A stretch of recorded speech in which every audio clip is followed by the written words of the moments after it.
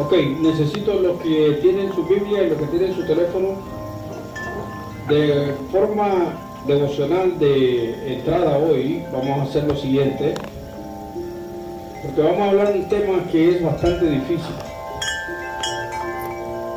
porque es, además de la prédica que vamos a hacer sobre los diezmos, es una enseñanza que tenemos que trabajar en ella y entenderla, porque hay muchas cosas espirituales en eso que muchos a través de los años no hemos conocido, pero gracias a que ahora tenemos la presencia de nuestro Señor, Él a través de su Espíritu nos da el discernir sobre estas cosas y la vamos a compartir hoy. Y la vamos a compartir con nuestros hermanos también que están en las redes que nos escuchan, especialmente en el canal nuestro de YouTube. Son personas fieles que han estado ahí mandándonos mensajes, y alabando la gloria de Dios, que son personas que saben que este canal no es para fondos monetarios ni nada, porque el que provee es nuestro Dios, no necesitamos que nadie tenga que estar sacando de su dinerito, amén. De lo que Dios le ha dado para que disfruten su vida, no tiene que traerlo aquí, porque esta es casa de Dios y Dios sostiene su casa. Aleluya. Entonces le damos las gracias a nuestros hermanos que son fieles, que están siempre en nuestro canal y que Dios les siga bendiciendo. Entonces, hermanos, hoy quiero que quiero que, por ejemplo, eh, comenzando, vamos a comenzar de atrás para adelante con Oscar. Oscar va a leer en el libro de Deuteronomio,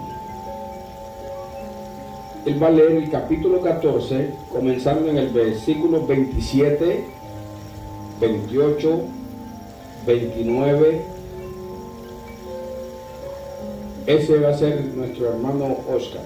Después tenemos a nuestro hermano Dani. Dani va a leer el libro de Levíticos. Y va a leer en el libro de, de Levítico, va a leer el capítulo 27, comenzando en el versículo 30 Va a leer el 31, el 32, el 33. Y después comenzamos con nuestro hermano Williams. Nuestro hermano William va a leer Deuteronomio capítulo 26. Va a leer el versículo 10, el versículo 11, versículo 12, versículo 13, versículo 14 versículo 15, versículo 16, 17, 18, 19, y hasta ahí. 19, hasta ahí. Del día 19. Del día 19. Y después nuestro hermano Humberto, no trajo ni el teléfono ni la Biblia. Bueno, le podemos dar una Biblia que tiene las letras altas. ¿Eh? Este tiene la letra alta y lo puede usar, si no le pasamos el teléfono de cualquiera. Usted va a leer el capítulo 18 del libro de números. Fíjense bien que estamos casi hoy todos en los Pentateucos. Analicen esto. Este va a ser números. Que la voy a pasar porque ya la tenga donde vas a leer. Números capítulo 18 y usted va a leer desde el 21, número 18,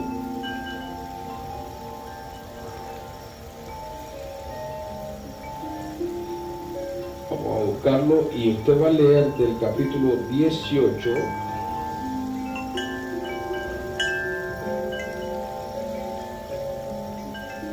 ok, del 18 comenzamos en el 21 lo voy a poner con la cinta para que no se te pierda. Mira, usted va a leer aquí en el 18, usted va a leer del 21, que está por este lado, del 21, y vas a leer desde el 21 hasta el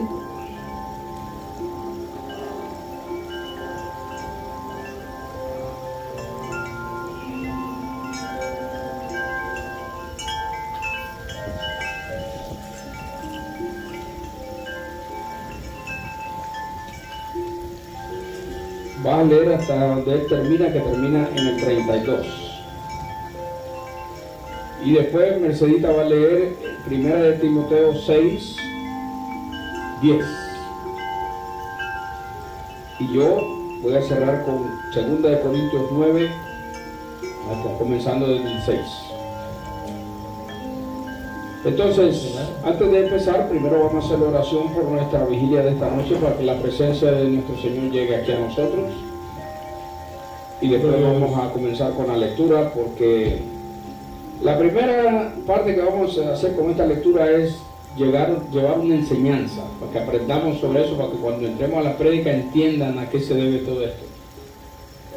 Entonces, vamos a hacer esta oración si alguno tiene alguna necesidad de una oración de algo por algún hermano, además que ya tenemos unos hermanos que ya sabemos que el Señor está orando en ellos, la mamá de nuestro hermano Jairo, la señora que estuvo aquí, ustedes la conocen, Melba, que está con un problema de, de tratamiento que ahora le van a hacer una biopsia para ver si tenía algo malo. Y entonces tenemos a nuestro hermano Roberto Barba, que el Señor nos puso a orar por él.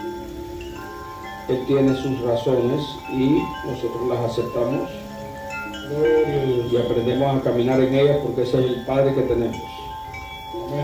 Padre Santo, en esta noche, Señor, hemos venido aquí, Señor, para recibir de tu presencia, que sabemos que tú te mueves en este lugar. Hemos venido a recibir de ti Hemos venido a aprender, Señor, de tu palabra para poder llevar palabra de buenas nuevas a esas ovejas necesitadas a nivel del mundo. Padre, así como también las personas que nos escuchan a través de las redes sociales, sabiendo que nosotros, Señor, somos esas personas que tú has usado para compartir tu palabra con todo aquel que necesite conocer a Jesús. Y nosotros te damos las gracias en esta noche porque sabemos, Señor, que tú estás obrando en nuestros hermanos. Porque sabemos, Señor, que el mundo está calor, colapsando, caducando en sus tiempos, entrando a tiempos donde tu palabra se cumple, que los días serán cortos. Y ya los estamos viviendo, Señor. Recién terminamos el año y ya estamos en el primer mes pasado de, los primeros 15 días, pasado ya de la mitad del mes, Padre, y es porque tus profecías han comenzado a cumplirse. Los tiempos serán cortos, los lugares donde era cálido tendrán frío, los lugares donde era frío vendrán a ser lugares cálidos, y el mundo se enloquece hablando de la situación del tiempo, hablando que los glaciares están destruyendo. Pero Señor, dejen por fuera tu profecía. Pero nosotros sabemos, Señor, que todo eso está escrito en tu palabra y todo eso será cumplido. Nosotros te damos las gracias y lo que entendemos, el discernir de tu espíritu y caminar contigo, sabemos que estas cosas vendrán y que nosotros, Señor, estaremos a tu lado porque en el tiempo en que tú levantes a tu rebaño, a tus ovejas, a tu iglesia, todas estas cosas quedarán para la tribulación de muchos que no aceptaron. En el tiempo debido, Señor, cuando tú tocaste la puerta y llamaste y no obedecieron. Asimismo, Señor, también sabemos que muchos, muchas veces se predicó y se habló sobre buscar a Dios mientras pueda ser hallado y muchos dejaron esta palabra por tardía, no les interesó. Pero Padre, tú que eres un Dios de misericordia que nos has guiado por el camino y nos has enseñado de tu gracia, de tu misericordia, Señor. Sabemos que tú perdonarás muchas de estas personas. Y así dice tu palabra, los que no fueron marcados vendrán, clamarán a ti y tú los aceptarás y serás su Dios y nosotros confiamos y sabemos y te damos las gracias, porque sabemos que tú eres fiel y verdadero, Señor. Y quitaron tu vida, te crucificaron, Señor, siendo un hombre justo, recto y un Dios. a quien nosotros debemos amar, proclamar y dar gracias, porque la gloria toda es para ti, mi Señor. Aleluya. Te damos las gracias en esta noche. Y te pedimos, Padre Santo, que a nivel mundial, Padre, toques a todas aquellas ovejas que hoy en esta noche, a diferentes times de las vigilias, Señor. La primera vigilia de la noche, la segunda, la tercera la cuarta vigilia, Señor. Que sabemos, Padre, que tú estás obrando y que todas estas ovejas vendrán a tu redil, Padre. Porque sabemos que en el mundo hay muchas, muchas, muchas religiones, pero un solo Dios un Dios verdadero, el cual, del mensaje a las siete iglesias del Asia, Señor, que tú nos dejaste, de cada una de ellas vendrán ovejas a tu rebaño. Y sabemos, Señor, que en el mundo en que vivimos, donde el hombre ha aumentado estas religiones, y han habido muchos números de religiones, Padre, conociendo que tenemos iglesias católicas, apostólicas, romanas. Tenemos iglesias adventistas tratando de cumplir la ley a través de respetando el Shabbat, Señor. No llamándose judíos, como lo dice tu palabra, pero tú escogerás de esas ovejas. Al igual, Señor, a los testigos de Jehová, a los bautistas, las asambleas de Dios y todas esas religiones, Señor, que, tú sabes que tú tienes ovejas de tus rebaños ahí en cada una de ellas, las cuales serán levantadas porque con amor y honra te sirven, Señor, no de labios. Así como nosotros tratamos, Señor, de servirte aquí en esta casa de oración, no de labios, sino con nuestro corazón, conociendo de ti. Porque nosotros, Señor, en nuestras vidas hemos querido conocer a Jesús. Y el Espíritu de Jesús ha llegado a nosotros a través de tu gracia, Señor, y nosotros lo recibimos en esta casa de oración. Puerta del cielo donde sabemos que tú te ministras aquí a nosotros. Y a través de tu Espíritu nos has enseñado a discernir, a conocer de tu palabra, a ser libres conociendo la verdad que tú impusiste para nosotros, predicando el Evangelio de Jesucristo. Un Evangelio de amor, Señor, donde se amará y se cumplirá el segundo mandamiento de amar al prójimo como a nosotros mismos. Pero primeramente, Señor, te amamos, te adoramos porque tú eres ese Dios fiel y verdadero que diste la vida por nosotros. Y que ahora nosotros, Señor, habiendo muchos en este mundo que no han doblado rodillas todavía, Señor, que van a ser levantados en el remanente donde tú traerás nuevos ministros, nuevos pastores que apacentarán a tus ovejas, Señor que lo que tú clamas a que hiciéramos. Y en esta noche, Señor, yo presento ante ti esta palabra que tú traes de enseñanza para nosotros sobre aquello que fue puesto en el tabernáculo de Moisés, Padre, donde tú trajiste a los sacerdotes y Señor, y no le diste heredad al pueblo levita, a la tribu de los leví, porque esa heredad, Señor, iba a venir, que es el diezmo y la ofrenda que es entregado a ti para la gloria del Padre.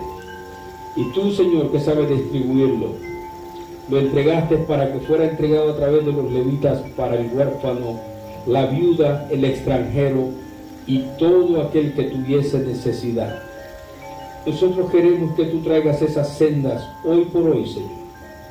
Porque así como pusiste en el espíritu de nuestro hermano Humberto, Señor, a que sí necesitan los templos. Señor, necesita pagar sus biles y todas estas cosas.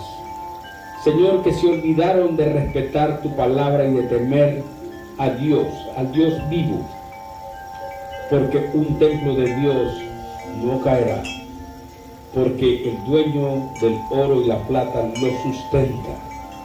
Porque Padre, lo que perdimos fue la fe en que tú eres el proveedor. Y esta noche nosotros lo reconocemos y sabemos que a través de tu Espíritu, en amor, podemos llevar esas ofrendas y esos diezmos porque es puesto en nuestro corazón por gracia, porque por gracia lo recibimos. Y en esta noche, Señor, te damos las gracias. Te pido a nivel mundial por todas esas ovejas que están doblando rodilla hoy. Y todo aquel, Señor, recibirá de tu milagro porque tus milagros nunca cesaron. Todo aquel que esté doblando rodilla y esté enfermo, Señor, el Espíritu de Jehová llega con fuerza y fortaleza y sana a esos enfermos. Porque sabemos y confiamos, Señor, que tus milagros nunca cesaron. Que tu palabra es fiel y verdadera y eterna, Señor, por los siglos de los siglos. Y nosotros sabemos, Padre, que tú estás sanando y obrando porque eso nos revelaste y traíste en manifiesto en el fin del año, que íbamos a comenzar a ver esos milagros, milagros donde nuestra presencia no esté, pero tú estás ahí. Tú eres ese Dios omnipotente que tú estás poniendo la mano en tus hijos, en tus ovejas, llevando sanidad y alegría y liberación a todo hogar que clame tu nombre, porque así lo dice tu palabra, Señor. Te damos las gracias en esta noche y te pido la bendición por mis hermanos, por Humberto y su familia. Padre, que siempre la gloria y la presencia de tu Espíritu esté con él y su familia. Así te pido por mi hermano Williams. Padre, que tu presencia, tu amor, tu fieldad y sinceridad esté siempre a su lado porque tú, Señor, que estás capacitando, das el amor y la gloria a todos tus hijos, porque tú los disciplinas. Así dice tu palabra y nosotros lo aceptamos en el nombre de Jesús. Y ahora, Señor, abre la mente y enciérrate en ella, Señor, para que abras esos ojos espirituales y esos oídos espirituales, para que mi hermano Oscar no haya ni un mínimo de dudas. Ponle a Él esa fortaleza que todo hombre de Dios necesita tener en sí para olvidarse de la carne y de la humanidad. Y que venga en espíritu a adorarte para que Él reciba esas añadiduras que ya tú diste a Él. Para que Él sea lleno y tenga en sus brazos nuevamente a su esposa, a su familia. Y que Él reciba de ti, Señor, esas buenas nuevas que llegan a ese corazón esta noche, porque tú estás enviando este mensaje directo a su corazón, para que Él lo reciba en el nombre del Padre, en el nombre del Hijo, en el nombre del Espíritu Santo. En especial, Señor, ese nombre que fue dado a los hombres, nuestro Señor Jesucristo. Nosotros, Señor, te damos las gracias porque sabemos que tú obras ese es el misterio de tu presencia, Señor, que tú obras cuando nosotros descansamos y cuando estamos sufriendo, Señor, es cuando tu mano llega. Porque tú nunca llegas tarde y te adoramos, Señor. Te adoramos y te bendecimos. Te pido, Padre, por el hermano Chepe. Padre, mentes alejadas de ti, pero con un corazón que puede traerlo a servirte. Tócalo, Señor. Libéralos.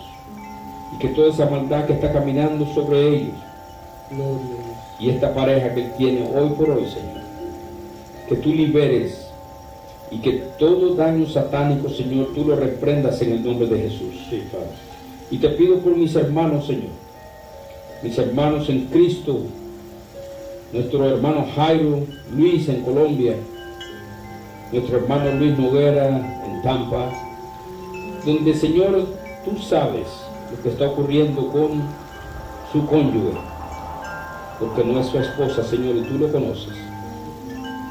Toca su corazón, Señor. Hazle hacer lo correcto, Padre. Que enderecen sus caminos para que tú puedas ser bendición para ellos. Yo te lo pido en esta noche porque confío, Señor, en ese Dios todopoderoso que para Él no hay imposibles.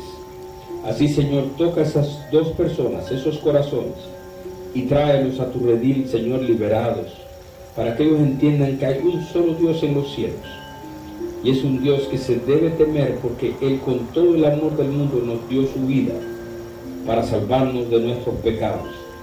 Te doy las gracias, Padre, y te pido una bendición para Marita, su esposo Juanito, su nieto Kevin, su familia, sus hijos, Padre, que derrames una bendición en ellos porque son personas que siempre están pendientes del prójimo, ayudando y bendiciendo porque son hijos de Dios, son personas que temen a ti, Señor.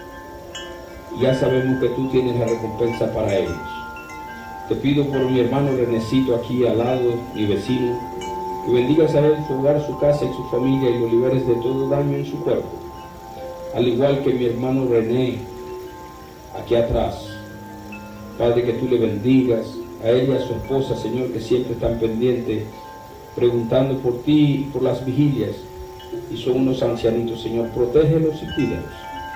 Que tengan calma, paz y tranquilidad en su vida, en sus cuerpos, en sus huesos, para que sean personas que no sufran de dolor, porque tú te llevaste nuestras dolencias y nuestras enfermedades. Y te damos las gracias, Señor, porque eres un redentor y nuestro redentor vive y vive en nuestros corazones. Y te agradecemos, Señor. Y lo que tú hiciste nunca fue en vano, como muchos quieren hacerlo ver porque habemos personas que te adoramos, te bendecimos y te damos la gloria en los cielos y en la tierra. Y en esta noche, Señor, te pido también por nuestros hermanos, Pedro, Padre, que tú entres en su corazón. Tú sabes lo que has de hacer en este tiempo venidero, tiempo de las profecías donde comienza a cumplirse tu orden. Y levantarás, Señor, tu remanente. Yo te pido que toques ese corazón que no se extravíe, que no se pierda, que venga a servirte, que venga a tus pies. Y te pido, Señor, la protección para él, su esposa, sus hijos y toda su familia, Señor. Porque así lo dice tu palabra, que nosotros expresemos que mi casa y yo te serviremos, Señor. Y lo aceptamos y lo recibimos porque vino de ti, Padre. Porque tú inspiraste las sagradas escrituras. Y todo fue inspirado por ti al igual esa fe que debe crecer en nosotros, si no es a través de tu espíritu, no lo lograremos. Pero tú estás con nosotros. Y tu palabra lo dice que estarás con nosotros hasta el fin. Y nosotros te bendecimos, te alabamos y te adoramos en el poderoso nombre de Jesús. Amén y amén. Gracias. Ok, le damos inicio de esta forma y entonces ya sabemos que damos inicio a través de la lectura con nuestro hermano Oscar primero. Y en reverencia, cada vez que vayamos a leer, nos ponemos de pies, cuando vayamos a leer. Entonces, comenzamos con nuestro hermano Oscar, lo cual él comienza con el libro de Deuteronomio 14. Okay. Deuteronomio 14, del 27 en adelante. Buenas noches, hermano. Voy a leer la palabra de Dios para honrar al Padre, al Hijo y al Espíritu Santo. Deuteronomio 14, 27. Y no desampararás al levita que habitare en tus poblaciones, porque no tiene parte ni heredad contigo. Al fin de que cada tres años sacarás todo el diezmo de tus productos de aquel año y lo guardarás en tus ciudades. Y vendrá el levita que no tiene parte ni heredad contigo, y el extranjero y el huérfano y la viuda que hubiere en tus poblaciones y comerán y serán saciados para que Jehová tu Dios te bendiga en toda obra que tus manos hicieren. Primero Timoteo 6:10. Repetime, por favor, hermano, el último versículo ese. Y vendrá el levita que no tiene parte ni heredad contigo y el extranjero, el huérfano y la viuda que hubiese en tus poblaciones, y comerán y serán saciados, para que Jehová tu Dios te bendiga en toda obra que tus manos hicieren. Amén. Vamos a darle, porque, primera, entonces fíjense hermanos, esta es la manera que lo vamos a hacer, porque es una enseñanza que el Señor nos va a dar y quiero que preparen ustedes su mente su corazón y su espíritu, además que el espíritu de Jehová está con vosotros. Escuchen lo que él le dejó y estamos hablando del libro de los Pentateucos, aquí que lo estudiamos y tenemos cinco libros en el Pentateucos. A ver, le voy a preguntar a nuestro hermano Humberto, ¿cuáles son esos cinco libros? Los Pentateucos.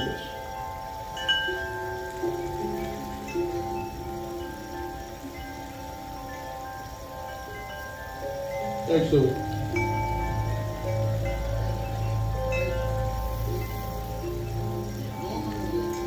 Amén. Amén.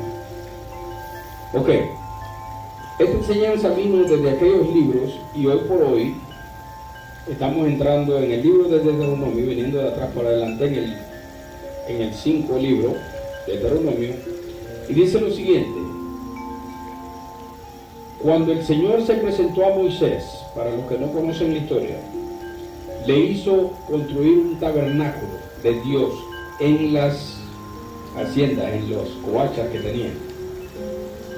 Y él, cuando leyó las ordenanzas de las entregas, él dejó por fuera al grupo de los levitas, a la tribu de Leví. No iban a tener heredad en la tierra. Entonces, pero iban a tener algo más que una heredad de la tierra. Iban a tener los diezmos de nuestro Señor. Que los diezmos eran para el Señor y Él los iba a entregar a ellos. Amén. Entonces, la primera parte de entender es la siguiente. Y no desampararás al levita que habitare en tus poblaciones. Está hablando con su pueblo. Porque no tiene parte ni heredad conmigo, dice Jehová.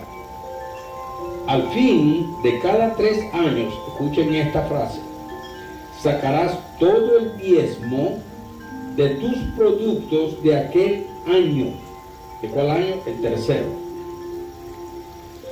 Y lo guardarás en tus ciudades. En este caso ellos tenían tribus, tenían, ¿cómo le llaman eso? Cabañas, casetas. ¿Cómo le llaman eso? Tiendas y escuchen la ordenanza. Y vendrá el levita, que no tiene parte ni heredad contigo, y, las primeras frases, el extranjero, el huérfano y la viuda que hubiere en tus poblaciones, y comerán y serán saciados para que Jehová tu Dios te bendiga en toda obra que tus manos hicieren. Vamos a regresarnos un poquito. Cuando usted sigue el segundo mandamiento de Dios, que es ama a tu prójimo como a ti mismo, el Señor le enseña a través de una ordenanza que le da a la tribu de Leví, a los levitas, los sacerdotes, donde le dice que donde hubieran extranjeros huérfanos y viudas en esos pueblos, en esas tribus, en esas tiendas, les dieras de comer. Y a través de eso que recibieron ellos, lo iban a compartir con ellos hasta que fueran saciados para que Jehová te bendiga en toda obra que tus manos hicieren. ¿Qué les refleja esa parte, esa porción? Las bendiciones en Deuteronomio 28 serás proveído en el campo y en la ciudad. Todo aquello que toque tus manos prosperará. Y te lo repite en el grupo de los Leví, porque son los sacerdotes que fueron puestos para ayudar a través de sus ofrendas y sus diezmos al levita, a la viuda, al huérfano, y al extranjero, y ustedes saben a quiénes le llamamos extranjeros. Los extranjeros son estas personas que están homeless en las calles. Nosotros les hemos puesto unos buenos nombres, indigentes. Y para la gloria y honra de Dios, son almas ya salvas por Dios, por su pobreza, como lo hizo con aquel que pidió hasta comer de las migajas de lo que caía de la mesa. ¿Y qué le dijo el Señor? Ya Él tiene su espacio en su lugar. Y después el rico es el que le pide a ese pobrecito una gotita de agua, aunque sea. Y le dijo el padre Abraham, no puede cruzar uno de aquí al otro porque tu tiempo fue tu tiempo y no buscaste de Dios. Por eso, hermanos, antes de caer ese fuego, busca de Dios mientras pueda ser hallado. Él le toca la puerta y llama y no se le está prestando atención. Y los tiempos que vienen son tiempos de sufrimiento, de dolor, que no queremos entender que Dios es un Dios de amor, pero también es fuego consumidor. ¿Quieren el ejemplo? Cuando Coré fue a enfrentar a Moisés, 14 mil hombres llegaron. Fíjense si Dios es fuego consumidor que hizo y los quemó a esos 14 mil.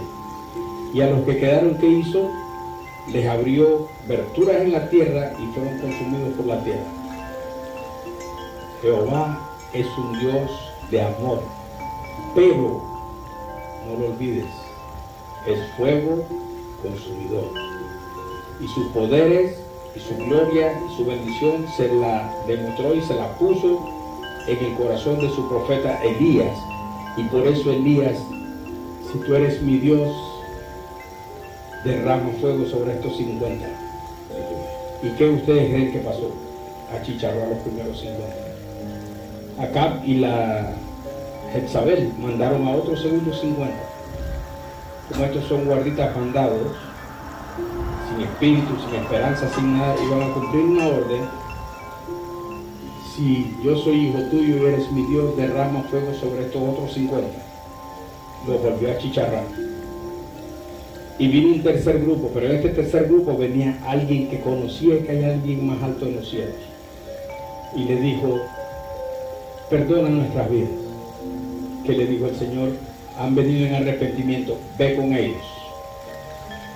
Ahí no hubo fuego consumidor, ahí hubo humildad, humillación, se humillaron ante Él. Es lo que pide nuestro Señor, venid en arrepentimiento para que seáis salvos, dice el Señor.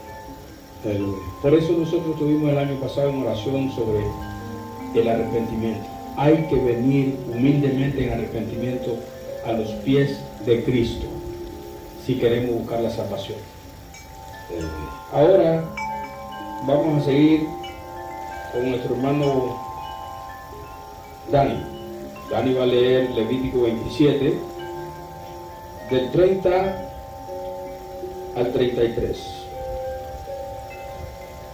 Iniciamos de Dios el nombre del Padre, del Hijo y del Espíritu Santo. Y el diezmo de la tierra, así de la simiente de la tierra como del fruto de los árboles de Jehová es, es cosa dedicada a Jehová. Y si alguno quisiere rescatar algo del diezmo, añadirá la quinta parte de su precio por ello. Y todo diezmo de vacas o de ovejas, de todo lo que pasa bajo la barra, el diezmo será consagrado a Jehová no mirará si es bueno o malo, se lo cambiará y si lo cambiare tanto el como el que se dio, en cambio serán cosas cerradas. No podrían ser rescatadas. Amén. Fíjense esta enseñanza que está en Levítico, que este es un libro escrito a los levitas. Escucha lo que dice. Y el diezmo de la tierra, ¿a qué se refiere? Todo cultivo, todo árbol, toda palma, toda fruta, todo lo que sale provecho de esa tierra. Así de la simiente de la tierra, más profundo todavía, como del fruto de los árboles, de Jehová es. ¿De quiénes son? ¿De quiénes son esos frutos? Y que te dice, y el diezmo de la tierra, no el diezmo de los hombres. El diezmo de la tierra, así de la simiente de la tierra, como del fruto de los árboles de Jehová es. Es cosa dedicada a el pastor. No dice eso, ¿cómo es que dice? Es dedicada a Jehová. ¿Capiche? Y si alguno quisiere rescatar algo del diezmo, añadirá la quinta parte de su precio por ello. ¿Qué entienden por eso? ¿Entienden por eso? Yo lo he hablado muchas veces aquí. Ustedes ven que en las asambleas de Dios recogen diezmo sobre diezmo. Ustedes se han fijado que lo que recoge el pastor en el mes ellos tienen que escribir un chequecito por el 10% a las asambleas de Dios. ¿Sabían eso, no? Yo lo viví en carne propia, estuve en una reunión y lo escuché. No es cuento me lo dijeron. Y si alguno quisiere rescatar algo del diezmo, en este caso, ¿de quién se está refiriendo? ¿Quiénes, ¿Quiénes cogen parte de ese diezmo? Los que están más arriba, los que tienen una franquicia. Este, si hace esas barbaridades, tiene que añadir una quinta parte de su precio por ello. ¿Qué te parece, mi socio? ¿Lo están haciendo? Negativamente Entonces, en el 32 nos dice, y todo diezmo de vacas, ya no está hablando de la tierra, está hablando de los animales ahora, y todo diezmo de vacas o de ovejas, de todo lo que pasa bajo la vara, ¿ya saben cuál es la vara?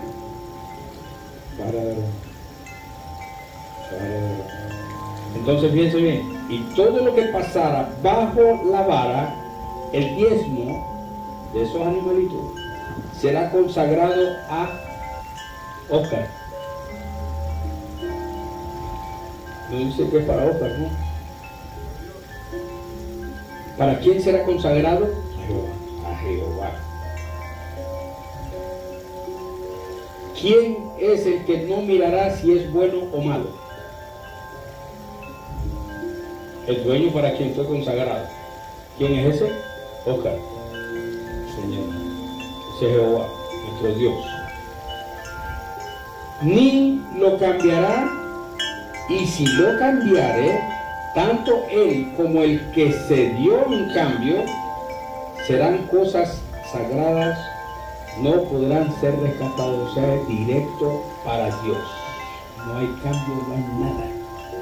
Porque la orden de él, la obediencia de él, se cumple. Y es lo que no estamos haciendo porque fuimos enseñados de otra manera. Y ahora van a ver la mejor parte que comienza con nuestro hermano William.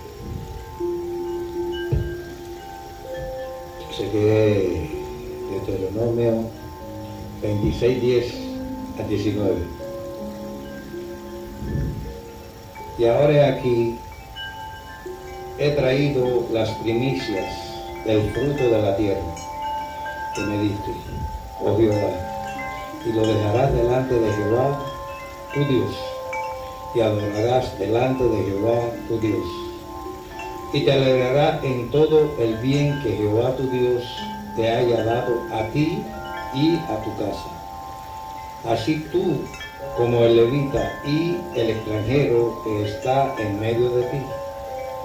Cuando acabes de diezmar todo el diezmo de tus frutos en el año tercero, en el año del diezmo, darás también al levita, al extranjero, al huérfano, y a la viuda, y comerán en tus aldeas y se saciarán. Y dirás delante de Jehová tu Dios, he sacado lo consagrado de mi casa, y también lo he dado al levita, al extranjero, al huérfano y a la viuda, conforme a todo lo que me has mandado, no he, no he, no he trans he tus mandamientos y me he olvidado de ellos. No he comido de ello en, en mi luto, ni he gastado de ello estando yo inmundo, ni de ello he ofrecido a los muertos. He obedecido a la voz de Jehová, mi Dios. He hecho conforme a todo lo que me has mandado Mira desde tu morada santa, desde el cielo, y bendice a tu pueblo Israel y a la tierra que nos ha dado, como, como juraste a nuestro Padre, tierra que fluye leche y miel. Jehová tu Dios te manda hoy que cumplas estos estatutos y decretos. Cuida, pues, de, ponerlo por obra con todo tu corazón y con toda tu alma. Has declarado solemnemente hoy que Jehová es tu Dios y que andarás en sus caminos y guardarás sus estatutos, sus mandamientos y sus decretos y que escucharás su voz. Jehová ha declarado hoy que tú eres pueblo suyo de su exclusiva posesión, como te lo ha prometido, para que guardes todos sus mandamientos, a fin de exaltarle sobre todas las naciones que hizo, para loor y fama y gloria, y para que seas un pueblo santo a Jehová tu Dios, como él ha dicho. Gloria sea para nuestro Padre. Aleluya. A ver, antes de yo comenzar a hablar, ¿qué les pareció esa frasecita de ahí? ¿Qué entendieron? ¿Qué aprendieron de eso? A ver, alguno, ¿eh? No me dejen solo en la inspiración, a ver alguno que sea sido tocadito por Dios.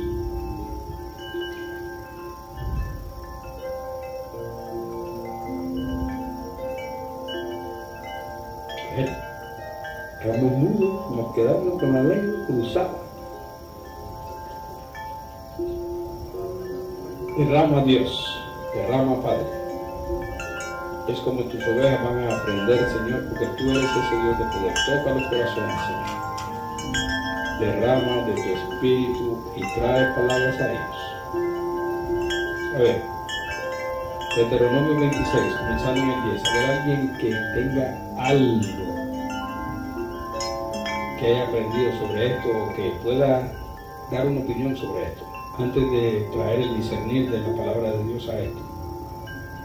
Porque me voy a sentir que me estás dejando todo a mí. Y Dios es para todos, no es solo mío. ¿Mm?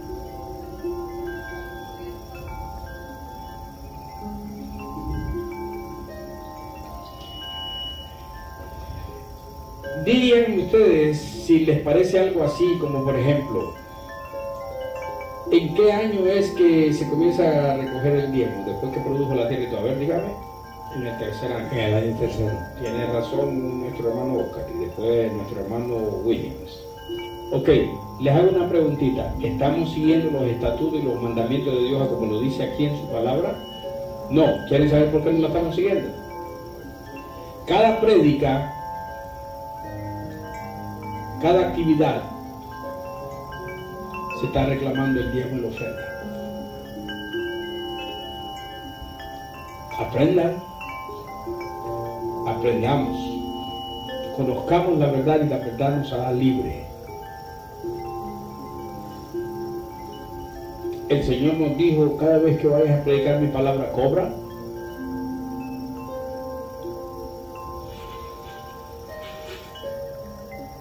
El Señor nos mandó en sus mandamientos, en sus designios, a que cada vez que traigamos palabra, saca la bandejita a merced, comienza a cobrar bien. El Señor no nos mandó a eso. Así nos está establecido. Y miren cómo viene la bendición, porque Él mismo te manda a que vayas a Deuteronomio 28. Bendito serás en el campo y en la ciudad.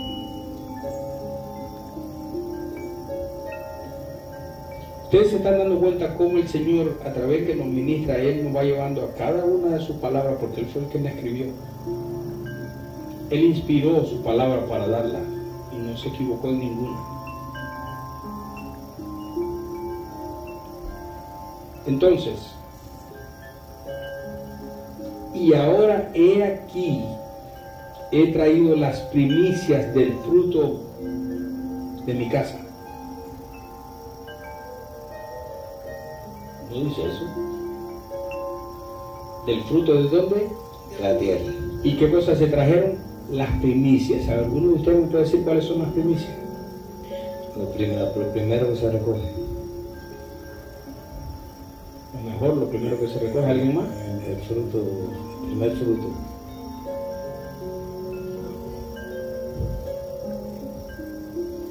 las primicias de todo fruto. Tú ves aquel fruto que tú coges ocho mangos de los grandotes.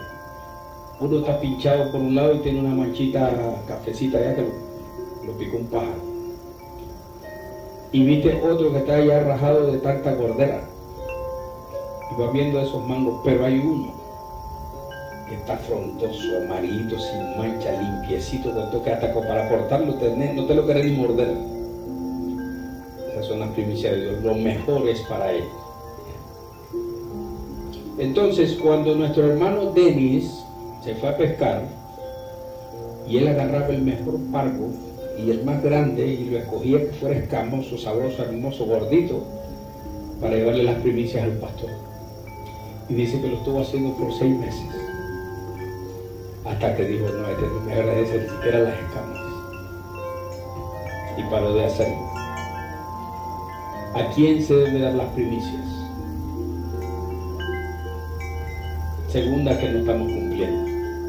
Porque así como nuestro hermano Denis que lo confesó aquí con su boca, así hay muchos en los templos. ¿Y quién permite todo eso? No vamos a decir la palabra pastor el siervo que está tratando de servir a Dios. Entonces, ¿por qué tú crees que el Señor nos manda a decir hacer esto por obra? ¿Cuántas veces yo a través de su Espíritu le digo a ustedes, hay que hacer las cosas, convertirlas en obra, no las dejemos en el aire? Hagámoslo valer. Hagámosle caso y obediencia a nuestro Padre que nos habla diariamente, todo el viernes. Ahora no está hablando los martes martes y viernes, y está tocando. Y él si no se va a cansar. Él es eterno, él va a estar ahí, dale, que dale, dale, dale, hasta que entremos por esa senda de justicia Entonces, las primicias del fruto de la tierra que me diste, oh Jehová, y lo dejarás delante de Jehová tu Dios, y adorarás delante de Jehová tu Dios y te alegrarás. ¿Cuántos se alegran cuando sirven al Señor? Todos nos alegramos cuando al Señor. Cuando sabemos que estamos haciendo algo por Él, nos alegramos. Amén. Y te alegrarás en todo el bien que Jehová tu Dios te haya dado a ti y a tu casa. Mira que Él lo batiza, Él no lo dice solo a ti. A los que están alrededor de tu hogar. Eso está en bendición igual. No nos equivoquemos a veces que pensamos que solo nosotros, ya la mujer me contestó mal y hizo. No, exhórtala, edifícala, no la critiques. Cuando tú traes palabra, yo le pongo un ejemplo aquí a mi esposa a veces y la corto en el medio y le digo así, así. ¿Sabes qué es eso? Un mandamiento de Dios. Exhórtala, porque a la hora de que ella falle, ¿a quién le van a reclamar la sangre de ella? A mí, por no haberle dicho. Está escrito en la enseñanza del libro de Ezequiel, para los que quieren conocer de Dios. Para los que no, seguirán ambulante ahí con las cositas de lo que aprenden en la calle, porque no quieren aprender de la palabra de Dios. Y entonces, te haya dado a ti y a tu casa, así tú como el levita, el extranjero que está en medio de ti, además de además de tú y tu casa, el extranjero que está en medio de ti. ¿Cuántos hay entre medio de mí? Todos ustedes son hijos. Son los extranjeros, los que están en medio, los hijos que cuando oramos por ellos, Willy, Melanie, Melania, Carla, Emmanuel, Dianelli, de, de esposo, Juan Carlos, mi cuñado y toda la gente. Porque nosotros acarreamos con muchos a través de la bendición. Chepi y la Carmen, aunque estén viviendo en Rusia, pero ahí lo tenemos. Ah, no, ya no viven en Rusia, ahora viven en, en, Chinandega. No, yo creo que se fueron a dónde, Teresa, a Canadá. Por algún lado están, ahí ustedes no se preocupen, por algún lado están dice la palabra, cuando acabes de diezmar todo el diezmo de tus frutos en el año tercero, lo vuelve a aclarar. el año del diezmo, darás también al levita, al extranjero, al huérfano y a la viuda, y comerán en tus aldeas y se Cerrando nos salimos de aquí panzoncitos cuando terminamos la vigilia. Y dirás delante de Jehová tu Dios, he sacado lo consagrado de mi casa y también lo he dado al levita, al extranjero, al huérfano y a la viuda, conforme a todo lo que me has dado, no me he transgredido, o sea, entiendan esta parte, no he transgredido tus mandamientos, ni me he olvidado de ellos. Él está obedeciendo y cumpliendo la palabra. Y hay un lugar donde dice que aunque esté en inmundicia, que haya un pecado, quiere decir eso. Él sigue el mandamiento de Dios y se olvida porque ese pecado sabe quién se lo perdonó. Eso es lo que debe hacer el cristiano. No ponerse a pecar, en eh, eh, a pensar en lo que ya pecó. Piensa en el bien que tú te arrepientes ante tu Dios y le dices a Él, aquí están tus mandamientos y yo los sigo. Por eso es que le dice, no he comido de ello en mi luto, en su problema, en su situación, ni he gastado de ello estando yo inmundo, estando en pecado, ni de ello he ofrecido a los muertos. He obedecido a la voz de Jehová mi Dios, no le importándole su pecado ni inmundicia ni nada he hecho conforme a todo lo que me has mandado. ¿Qué quiere decir eso? Obediencia. Mira desde tu morada santa, desde el cielo, y bendice a tu pueblo Israel y a la tierra que nos has dado, como juraste a nuestros padres, tierra que fluye leche y miel. ¿A quién fueron dichas esas palabras? A ver. ¿No? Bingo. Por eso le dice, como juraste a nuestros padres, tierra que fluye leche y miel. Vamos a darle 20 pesos a tu No, Humberto, ¿cómo fue la cosa? Vamos a sacar dinero. Al que adivina le pagan, así es la situación. Está bien hecho, porque ahora pagan hasta por eso. Entonces, Jehová tu Dios te manda hoy que cumplas, escuchen bien la bendición Jehová tu Dios te manda hoy que cumplas estos estatutos y decretos. Cuida pues de ponerlos por obra. No solamente te guardo lo que escuchaste, hazlo. Con todo tu corazón con todo tu con toda tu alma. O sea, las cosas bien como primicia. Has declarado solemnemente hoy que Jehová es tu Dios. ¿Por qué? Porque seguiste Jesús. Lo declaraste haciéndolo por obra. Y que andarás en sus caminos y guardarás sus estatutos, sus mandamientos y sus decretos, y que escucharás su voz. ¿Cuántos ya están escuchando la voz de Dios? Ah, mira qué lindo. ¿Ustedes están escuchando la voz de Dios? Del gimnasio.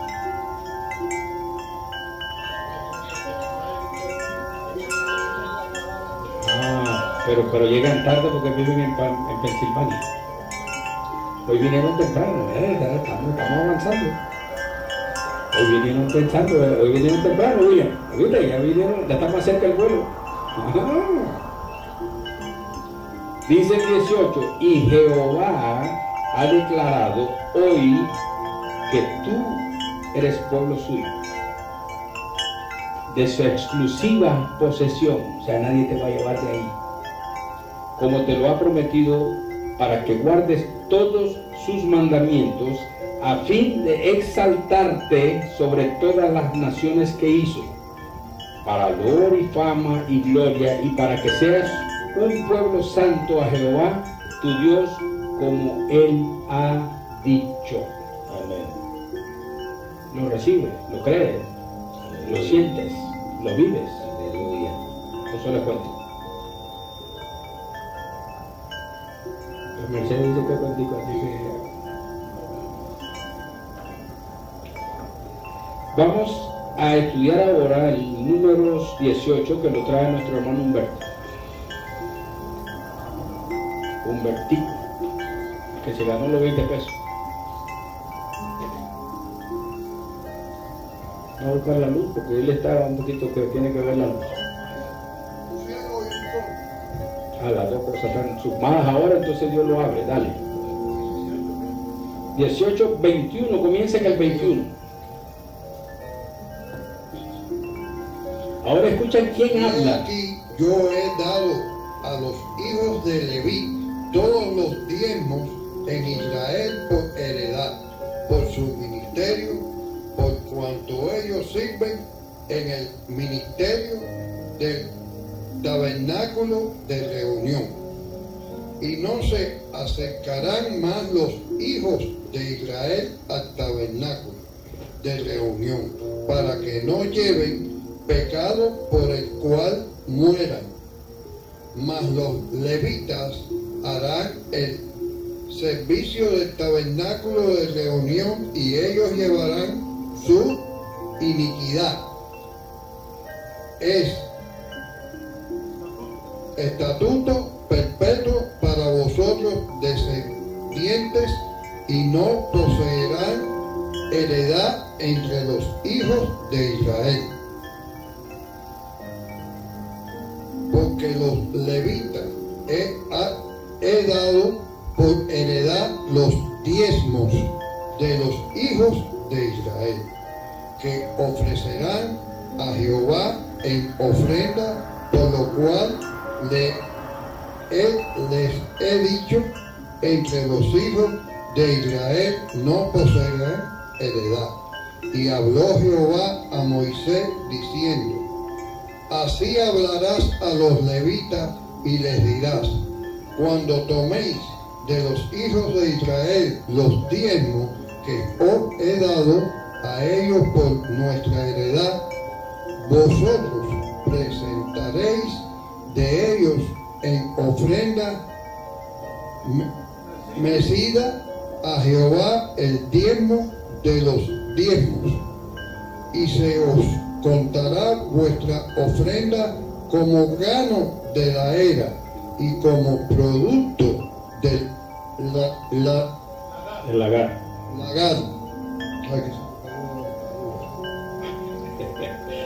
Así ofrecéis también vosotros ofrenda a Jehová de todos vuestros diezmos que recibiréis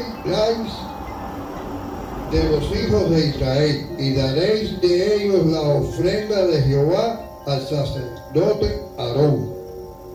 De todos vuestros dones ofreceréis toda ofrenda a Jehová.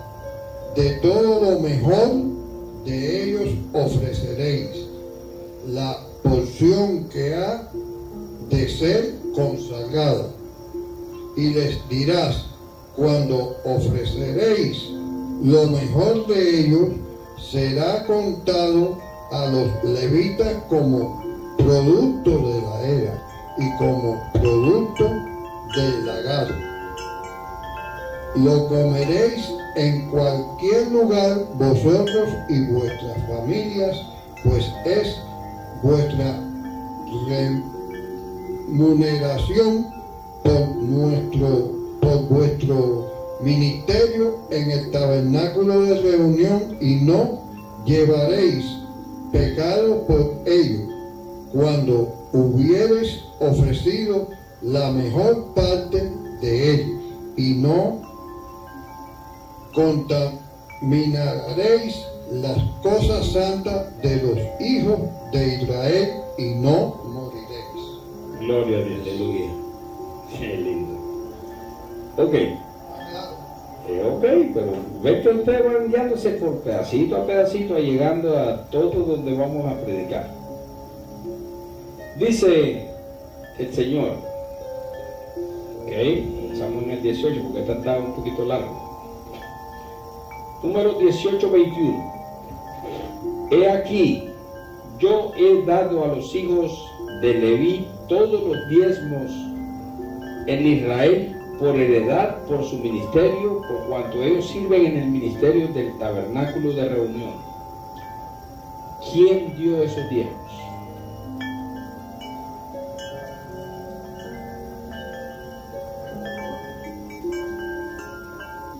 Está hablando alguien de alguien de poder aquí.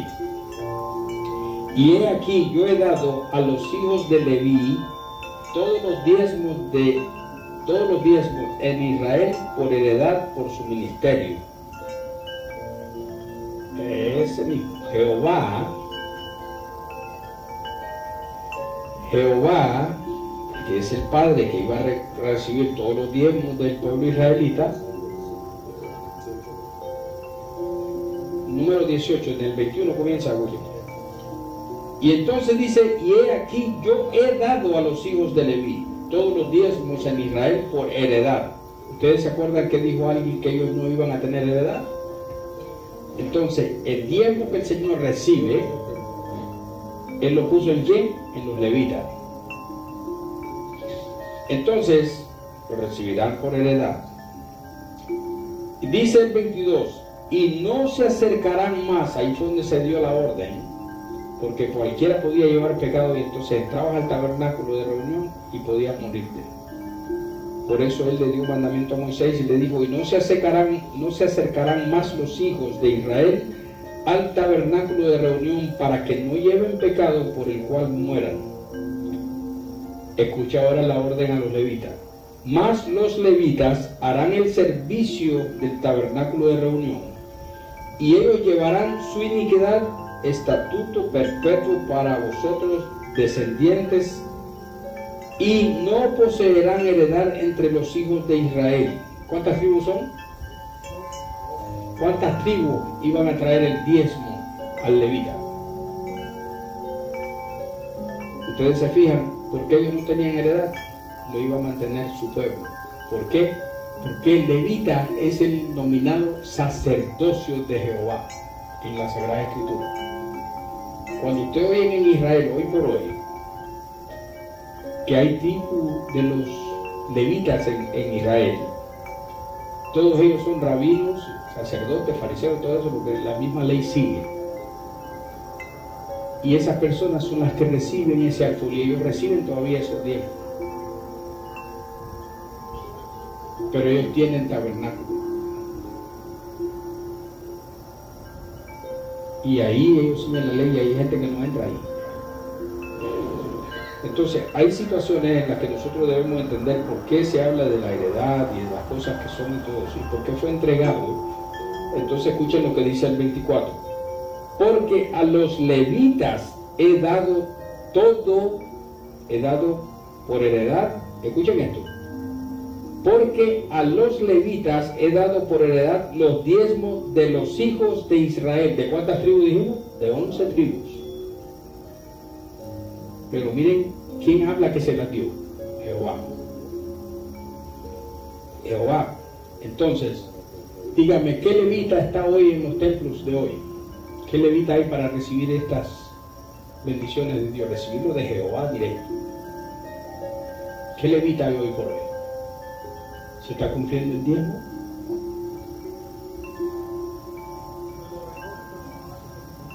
Entonces, ¿por qué si el Señor nos habla esto a nosotros, lo estamos leyendo, ¿por qué otra persona no lo puede interpretar igual? ¿No le conviene? Ah, entonces ya estamos hablando de conveniencia. Me voy para Rusia.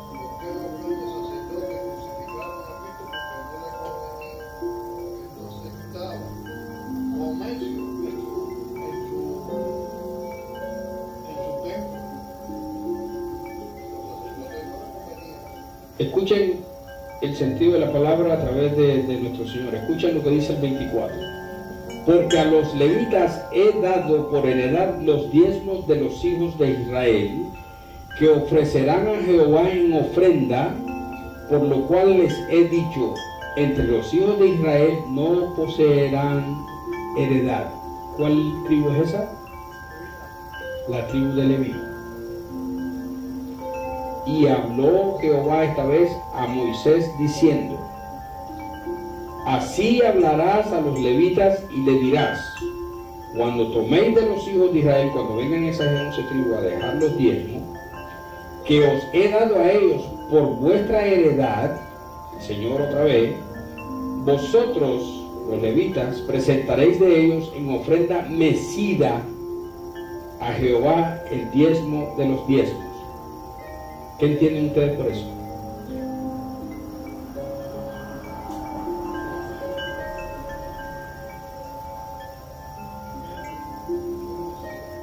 Ahí donde, ahí hace falta leer la Biblia. Fíjense, en la Biblia está escrito todas las ofrendas que debían de ser para Dios. Ahí están las ofrendas vencidas, las ofrendas de olor, las ofrendas de incienso. Ahí están toditas, hay que leerlas para ver qué es ofrenda mecida. Fíjense bien ahora. Así hablarás a los levitas y le dirás cuando toméis de los hijos de Israel los diezmos que os he dado de ellos para vuestra, por vuestra heredad. Vosotros presentaréis de ellos en ofrenda mecida a Jehová el diezmo de los diezmos.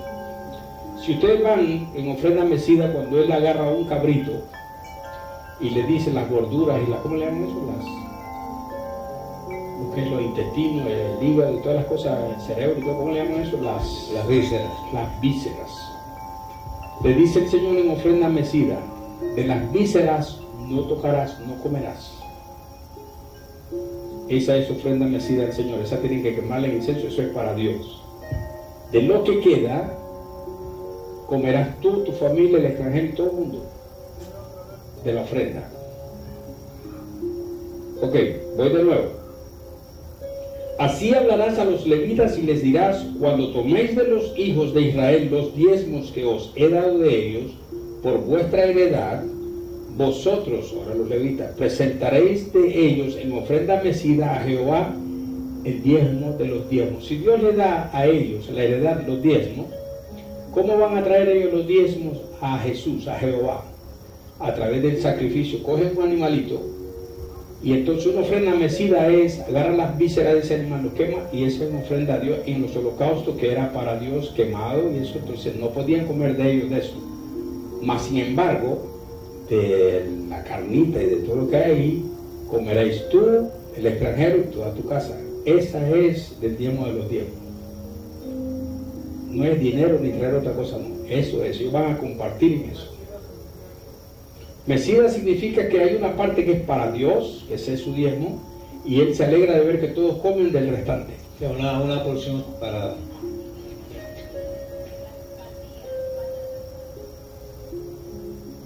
Las vísceras y todo también creo que decían. ¿no? Sí. Él tiene en, la- en las, en las ofrendas, tiene de- definido cada cosa.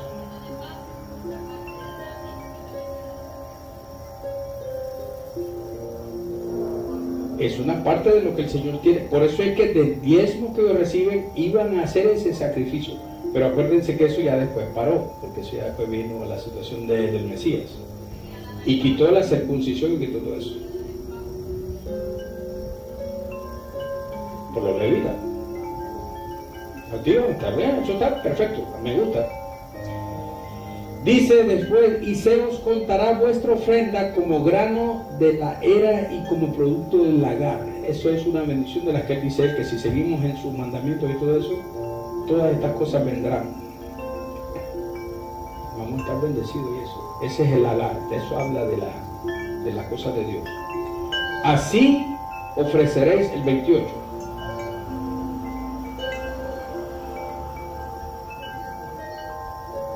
Sí, hoy por hoy sigo así. Acuérdense que vino una orden que era que ellos no se circuncidaran más. Pero los que siguen los mosaicos, que siguen la ley, ellos se siguen circuncidando. Porque no creyeron en el Mesías. Todavía ellos no han recibido a Dios. Todavía no han recibido a Jesús. Ellos están en lo mismo. Entonces fíjate bien, dice el 28. Así ofreceréis también vosotros ofrenda a Jehová de todos vuestros diezmos que recibáis de los hijos de Israel y daréis de ellos la ofrenda de Jehová al sacerdote Aarón. De todos vuestros dones ofreceréis toda ofrenda a Jehová, de todo lo mejor de ellos ofreceréis la porción que ha de ser consagrada. Y le dirás cuando ofreceréis lo mejor de ellos, será contado a los levitas como producto de la era y como producto del lagar. Van a estar siempre en bendición. Y lo comeréis, escucha bien ahora, en cualquier lugar vosotros y vuestras familias pues es vuestra remuneración por vuestro ministerio en el tabernáculo de reunión. De todo aquello, ellos, además de diezmar, Dios se siente feliz que están llenándose su barriguita. Porque tenemos un Dios bueno, que es lo que quiere es eso. Y entonces, y no llevaréis, escuchen bien esto, porque Él te está dando la bendición, y no llevaréis pecado por ello cuando hubieres ofrecido la mejor parte de Él y no contaminaréis las cosas santas de los hijos de Israel y no moriréis. ¿Ya vieron por qué cuando él hizo eso, por qué podían entrar Aarón, los hijos ahí al tabernáculo? Porque se hacían estas cosas que él mandaba hacer. Porque esto era dirigido, dirigido completamente a Levita. Porque fallaron. Porque fallaron, pero ellos entraban bien y todo. Pero ese día se habían tirado un vinazo de eso y salieron medio borracho y entró Chepe y ahí se odió todo. Cuando Chepe llegó ahí y puso las manos, le quemó la mano. Entonces Daniel Ortega le agarró y le puso un guante.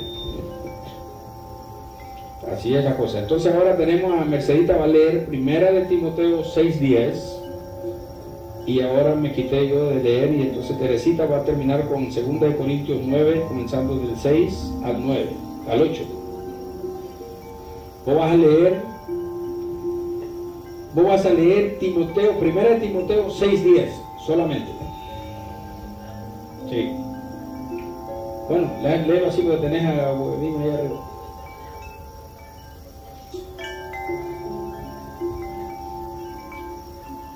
Aló.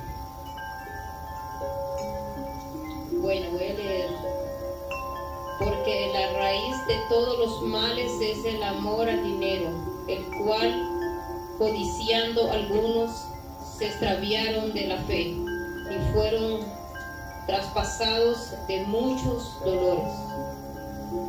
Muy lindo. Fíjense después de todo lo que hemos venido escuchando, fíjense que hay, antes de llegar a la final, fíjense lo que hay. Hay un ¿cómo se llama eso? Hay una sentencia ahí para que abramos nuestros ojos. Una advertencia. Dice el Señor, primera de Timoteo 6:10, porque raíz de todos los males es el amor al dinero. Cuando el Señor en su tiempo habló de dinero, Él habló de lo que produce la tierra, de lo que producen los árboles, de las primicias.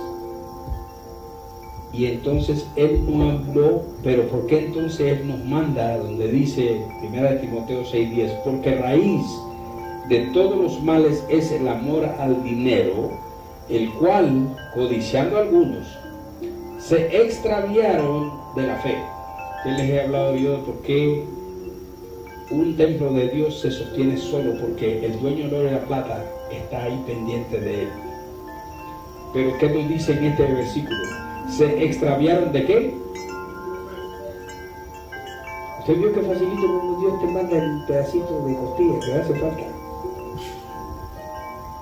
Se extraviaron de la fe y fueron traspasados de muchos dolores.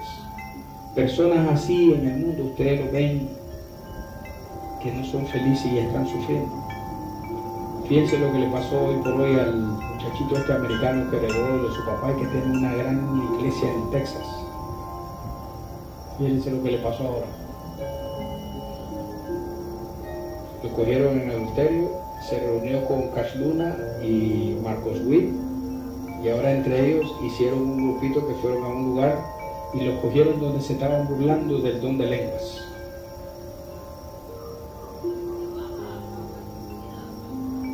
Ahora, es contrario, ahora están buscando salvación porque están en problemas.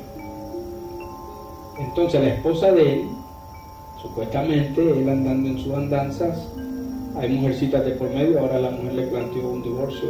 O sea, viven infelices, son traspasados de muchos dolores, viven una vida horrible. Yo no la quiero vivir. Tú viste cómo él va acaparando sus cositas, él va jalando. Ya está el problema. Maldonado y su esposa le dan el problema.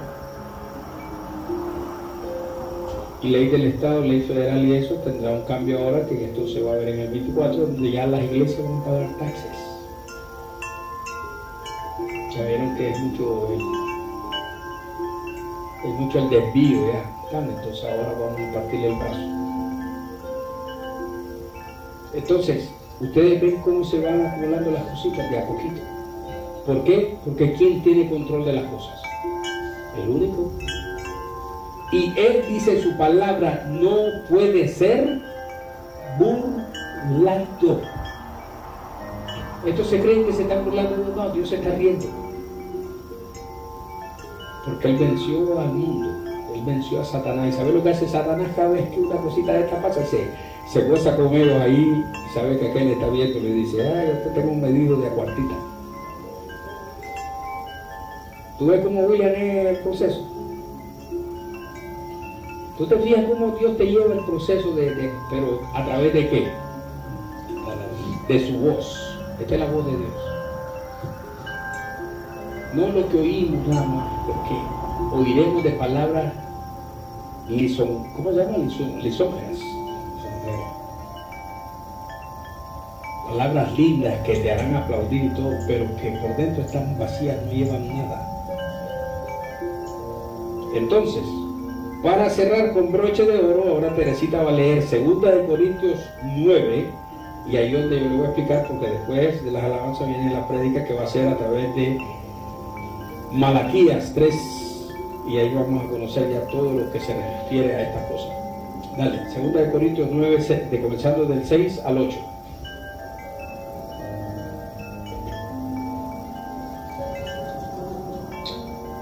Pero esto digo, el que siembra escasamente también segará escasamente. Y el que siembra generosamente, generosamente también segará. Cada uno de como propuso en su corazón, no con tristeza ni por necesidad, porque Dios ama al dador alegre. Y poderoso es Dios para hacer que abunde en vosotros toda gracia, a fin de que teniendo siempre en todas las cosas todo lo suficiente, abundéis para toda buena obra. Gloria a Dios. ¿Ya vieron qué lindo con qué se cierra ese brochecito de oro? ¿Quién sabe por qué?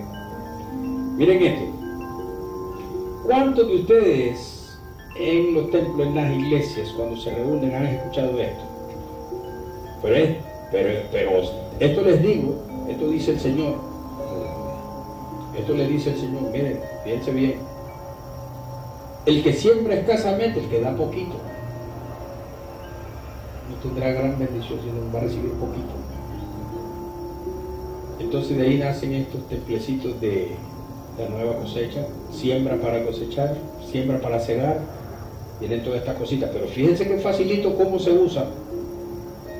Porque el Dios lo puso de último, porque después viene lo de Malaquía, ustedes van a ver y dice, y esto es Pablo en Corintios. Pero esto digo, el que siembra escasamente también se dará escasamente. Así que lleva bien, lleva un cuchillo grande, porque el segue es bastante, ¿oíste? No lleva de a peso, lleva de a 100, es bien. Y el que siembra generosamente, aquel que viene de 500, generosamente también segará. Y la más linda, díganme cuántos la han escuchado. Cada uno de como propuso en su corazón, no con tristeza ni por necesidad, porque Dios ama al dador alegre. ¿Cuántas veces nos han repetido al dador alegre? Qué lindo es. Pero ahora cojan el discernir de eso. Fíjense bien. Cada uno, cuando usted propone en su corazón llevar aquellas cosas con amor, paciencia, te pidieron una Biblia, la regalaste porque tú crees en tu Dios, lo hiciste de amor, de corazón. Esa alegría el Señor la bendice porque está alegre tu corazón porque hiciste algo por la obra de Dios. ¿Entendés cómo es el dador alegre? Entonces, no es que segue bastante para que coja bastante. No es nada de eso como se le tragiversa para darte un golpe en la nuca para que tú caigas aquello. El Señor no habla de esa manera. Por eso su segundo mandamiento dice que tu amor lo pondrás a ese prójimo como tú te amas a ti mismo, ama a ese prójimo. Y cuando de tu corazón tú te propones, como dijo el hermano Humberto, usted no necesita pagar la luz, el agua, el teléfono, la secretaria y todo lo que tengamos. Si usted siente en su corazón, esto no es por orden, ni por presión, ni por nada, esto es por amor, porque por gracia recibís y usted puso en su corazón y propuso, voy a llevarle 100 al templo para que se ayuden con la luz. Tú estás haciendo una obra para Dios, pero viene de qué? De lo que propuso tu corazón. No viene porque ya eres miembro para que tú lleves bien. No viene porque te voy a pasar la canastita cada rato que te voy a para que la voy a llenar. Porque entonces ya no es tu corazón entonces Dios no bendice ese corazón porque ese corazón no está alegre, está siendo exigido o presionado para hacer algo. Ven la diferencia de lo que es hablar a través del Espíritu de Dios, palabra de Dios, a ver que te presionen para recibir algo que te va a pasar a ti, porque tienes que hacerlo. Ahora tú eres miembro, ya te aceptaste ser miembro de la iglesia, ahora tienes que viajar. ¿Es eso lo que nos dice esto? Ni por cerca. Entonces, ¿quiénes estamos fallando? Fallándole a Dios. ¿Quiénes? Todos nosotros porque somos pecadores, cada quien a su medida. Entonces, ¿qué hay que hacer todos los días? Orar y pedirle y venir en humillación ante Dios y pedirle perdón todos los días porque todos los días pecamos. Entonces, cuando Dios nos enseña algo, tenemos que creer en la enseñanza de Dios a través de su palabra, porque Él nos habla. Y por eso te digo ahí, para que escuches su voz. Hasta ahí mismo te lo digo, para que escuches su voz. Entonces, hermanos, lo que se nos habla no es lo que está escrito aquí.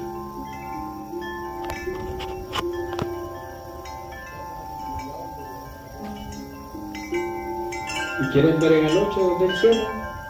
Y poderoso es Dios para hacer que abunde en vosotros toda gracia, a fin de que, teniendo siempre en todas las cosas todo lo suficiente, abundéis para buena obra. ¿Tú sabes cuál es la buena obra? Tú vienes y recogiste ahí en el fondito todos necesitados, lo llevaste a trabajar, lo alimentaste, comieron, llevaron alimento a su hogar, a su casa. Dios bendice a ese dador alegre. ¿Saben por qué lo bendice? Porque así dice su palabra, está cumpliendo sus mandamientos, sus estatutos, sus designios, está obedeciendo. Y escuchó la voz de Dios. Entonces, ¿sabe qué? Hay que buscar escuchar la voz de Dios. Hay que doblar rodillas hay que pedirle, Señor, derrama ese don de discernir en mí. Soy, soy ambicioso, quiero los dos mejores dones. ¿Cuáles son? ¿Cuáles son los dos, mejores dones que pide el Señor? Que le pidamos. ya está. Y yo prefiero el discernir. ¿Sabe por qué? Porque es el que jala tuditas, aún la profecía, porque ese es el que viene a ser vidente. El Señor te hace ver cosas que tú no has visto. Por eso el discernir es clave en lo. Por eso cuando él dice buscar los mejores dones, ¿saben cuál pone de primero? El discernir y el don de profecía. Entonces, ¿cuál pone primero? El discernir. Entonces, procurar los mejores dones. ¿Y cómo lo vamos a procurar? Pídelo. ¿Y cómo lo vas a pedir? Doblando esas rodillitas. Ah, no, me duele, me canso. No, no, no, ahí todo me. No, dobla tus rodillitas, pídele. Y ponga a primero en todo. Padre, tengo un examen, me van a colgar. No, Señor, yo tengo a Dios que me va a dar la sabiduría para contestarlo. Ah, se lo pusiste a Él, no quisiste hacer en tu voluntad, sino dejaste que Él hiciera la de Él. Entonces así es como vas creciendo y vas viendo la voluntad de Dios, obrando en ti, porque le estás dando la confianza a Él. Lo mismo en el trabajo. Ah, Señor, dame un buen trabajo. Viene el Señor y le da su permiso. ¿Y después qué pasó? Ni gracias, Señor, nada más, ya tengo un buen trabajo y ahora soy supervisor. Estoy overwhelming, ahora trabajo 40 horas en vez de 10. Ahora no tengo tiempo para ir a la reunión. Entonces salgo a trabajar a las 7 de la noche y termino a las 8. Tremendo trabajo. Entonces se te fue la voluntad, se te fue la bendición y se te fue todo. ¿Por qué? Porque te entraste a trabajar a las 7 y terminaste a las 8 y hiciste el día. Estaba overwhelming el resto del día durmiendo. Perros ahí Eso es lo que no se debe hacer, hay que buscar. Dice, cuando buscáis a Dios en la madrugada, todo el resto del día Él está contigo. Entonces, a ver si hay alguno de los hermanos que quiera decir algo, pasar al frente y decir, bueno, yo recibí de esto y creo que así debe ser y creo que voy aprendiendo y todo eso. Aquí es bienvenido. Antes de que comencemos las alabanzas. Un pequeño testimonio. Ahí está, mire, tenemos un testimonio. Pequeñito, no me... Buenísimo. Testimonio. Todo lo que da gloria a Dios es grande. Pequeñito. Todo lo que dé gloria a Dios es grande. Sí, como no. Eh, en la vigilia pasada, el viernes pasado, sí, que la familia del muchacho iban a pasar unos días de picnic, eh, como unas vacaciones que ellos pudieron pasar juntos, los nietos y los dos muchachos. eh, yo presenté, les dije presentar oración por ellos. ¿sí? Y efectiva la oración, porque yo sé que toda vez que pongamos delante de nuestro Padre los asuntos, Él, Él está ahí. Amén. Entonces, el, el varón,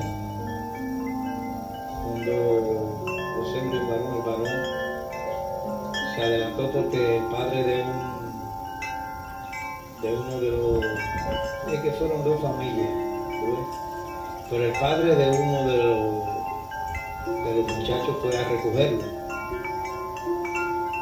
Y en ese momento en el expressway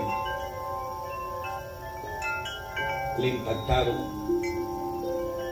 al carro del, del padre del niño que fue a recoger a su hijo y venía el nieto mío en ese, pero no se sentía bien prefirió que lo traigan para la casa, no se sentía bien.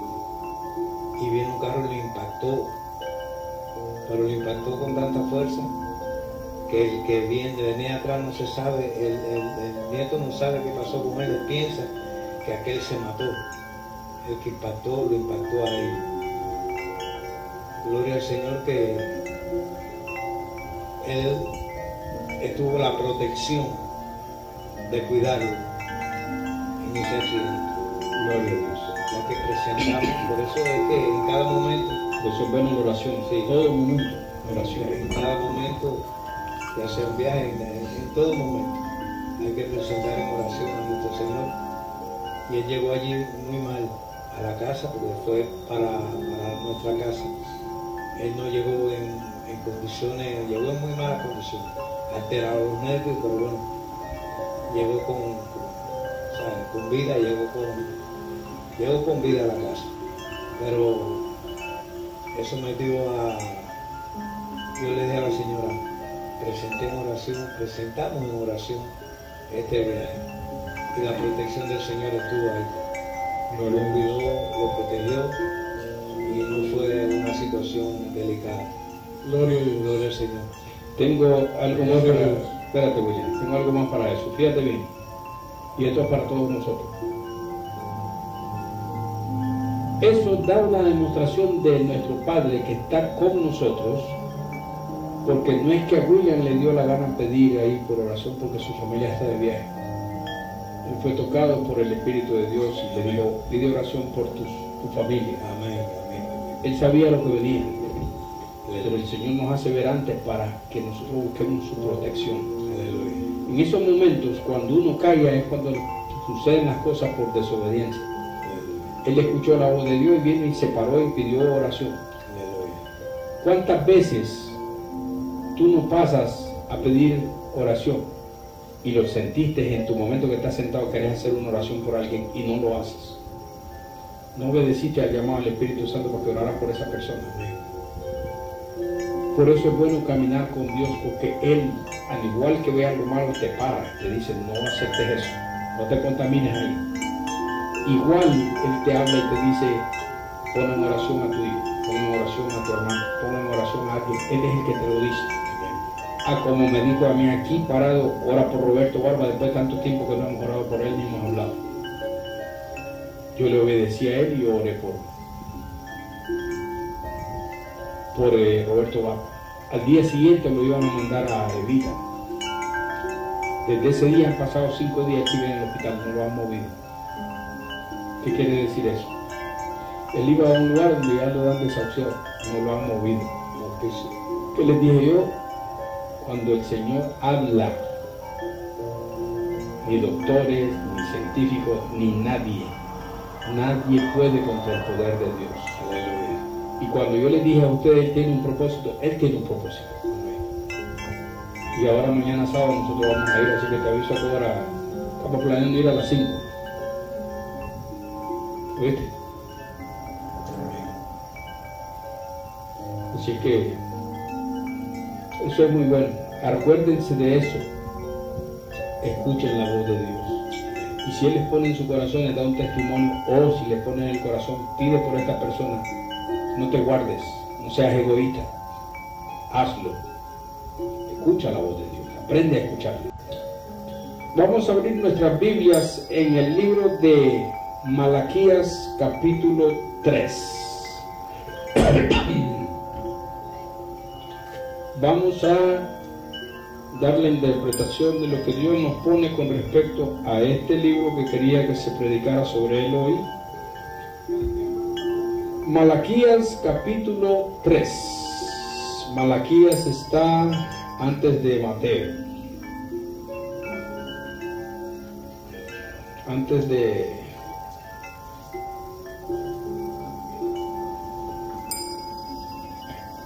Entonces, hermanos, vamos a leer el profeta Malaquías, que va a ser un estudio después a medida vamos leyendo los 12 eh, profetas menores.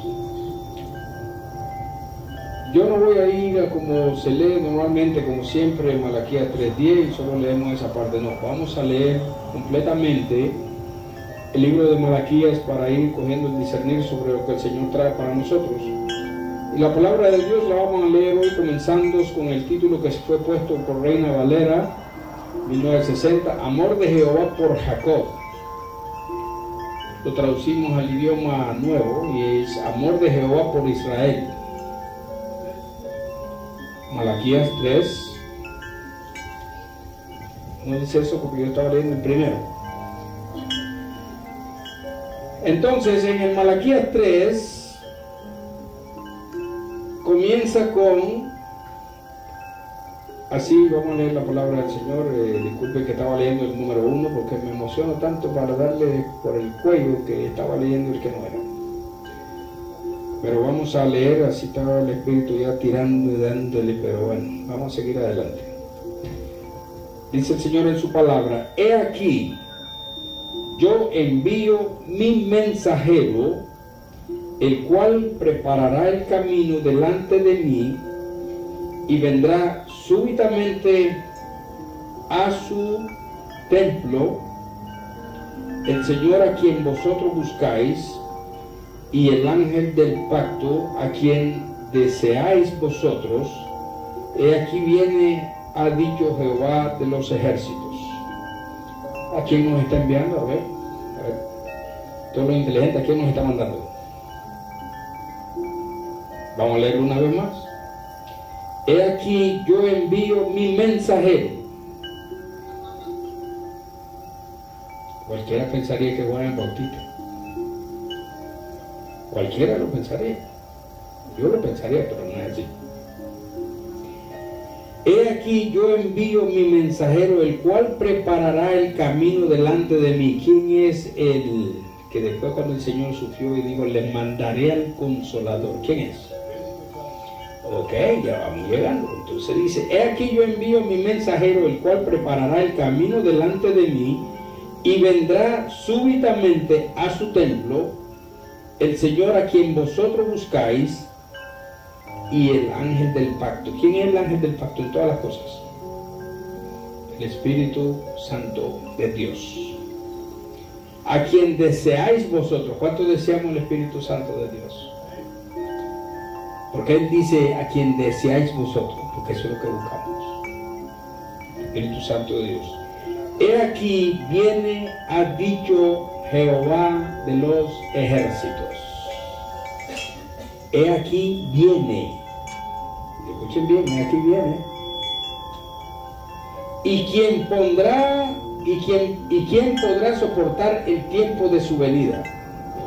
O quién podrá estar en pie cuando Él se manifieste porque Él es como fuego purificador y como jabón de lavadores. Porque en esa parábola, hablando en parábola, nos dice jabón de lavadores? ¿Qué quiere decir eso? No. Ay, hay que usar el discernimiento de Dios. Limpio de todo pecado, no, porque no ha hablado de inundar ni iniquidad ni nada de eso. Está hablando de su llegada y lo que viene y lo que está proponiendo. Y dice, la pregunta en el 2, ¿y quién podrá soportar el tiempo de su venida? Ustedes saben que al tiempo de su venida, cuando Él levante y venga a levantar su iglesia, ¿cuáles son esos tiempos que vienen? Tribulación. ¿Y quién podrá estar en pie cuando Él se manifieste? ¿Qué dice Él?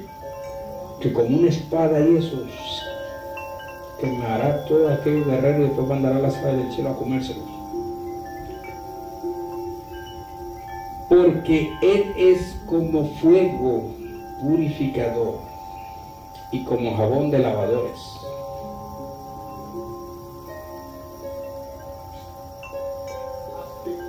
¿Qué hace un lavador?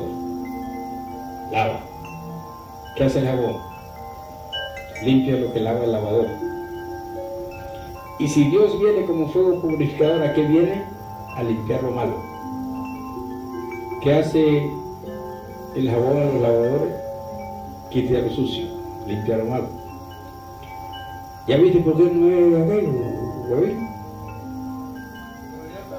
Por ahí andamos cerca, ok. Y se sentará para afinar y limpiar la plata, porque limpiará a los hijos de Leví. Ustedes ven porque yo les vivo diciendo que viene una limpieza para el pastorado mundial, los sacerdotes del tiempo. No, yo estaba en el 3. Estamos en el 3. Y se sentará para afinar y limpiar la plata, porque limpiará a los hijos de Leví. ¿Quiénes son los hijos de Leví? El sacerdocio de la tribu. ¿Y quiénes vienen representando eso en estos tiempos? los pastores, los obispos y la gente que sirve a Dios en los templos. ¿Qué dice el Señor que va a hacer? Porque limpiará a los hijos de Leví, los afinará como al oro. ¿Y cómo se afina el oro? Con fuego. Y como a plata. Y traerán a Jehová ofrenda en justicia. A ver si les tocó el ojito. Dice el 4, y será grata a Jehová la ofrenda de Judá y Jerusalén. como en los días pasados y como en los años antiguos, y vendré a vosotros para jugar con ustedes.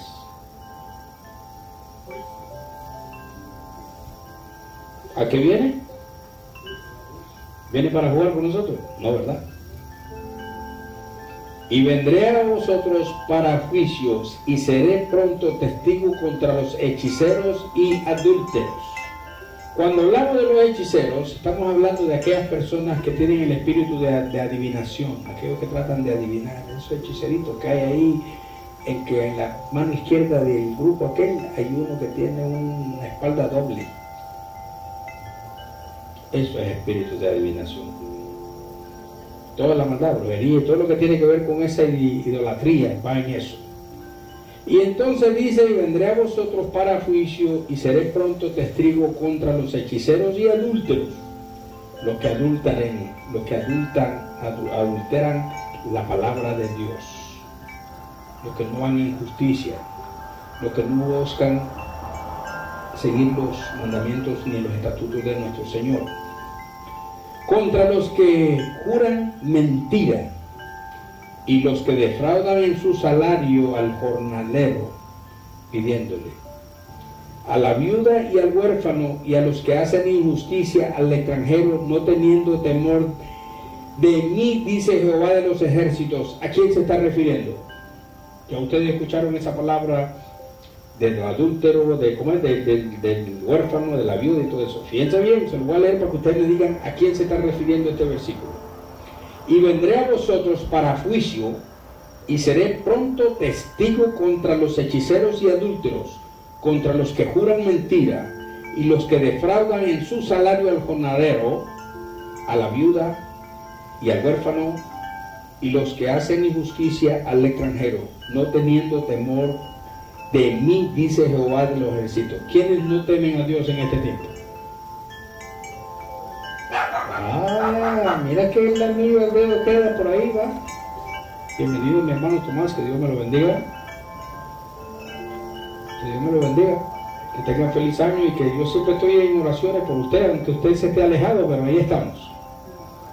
Porque cuando la gente se pone overwhelming con mucho trabajo y se abandonan de Dios, está triste la situación. Pero Dios es poderoso. Y Dios da mejores trabajos y mejores tiempos, pero para los que creen y para los que aman a Dios, todas las cosas, aleluya, qué lindo, qué precioso. Entonces, regresamos al 5, escuchen bien y me dicen a quién se refiere en esto, después de todo lo que hemos aprendido a través de nuestro Padre, que siempre Él derrama de su espíritu para que haya palabra para nosotros. Y dice, y vendré a vosotros para juicio y seré pronto testigo contra los hechiceros y adúlteros, contra los que juran mentira y los que defraudan en su salario al jornalero, comita, a la viuda, al huérfano y a los que hacen injusticia al extranjero, no teniendo temor de mí dice Jehová de los ejércitos. ¿A quién se está refiriendo, hermanitos míos? Al ángel de la iglesia. Buena respuesta. ¿Qué otra más? Oscar dijo a los pastores. Yo digo a los obispos. Y recuérdense una cosa. Nosotros no venimos aquí a juzgar en esta tierra a nadie. Pero la palabra de Dios a través del profeta Ezequiel nos enseña una cosa que es bien diferente a estas enseñanzas. Y cuando vamos al Nuevo Testamento vamos a encontrar frases donde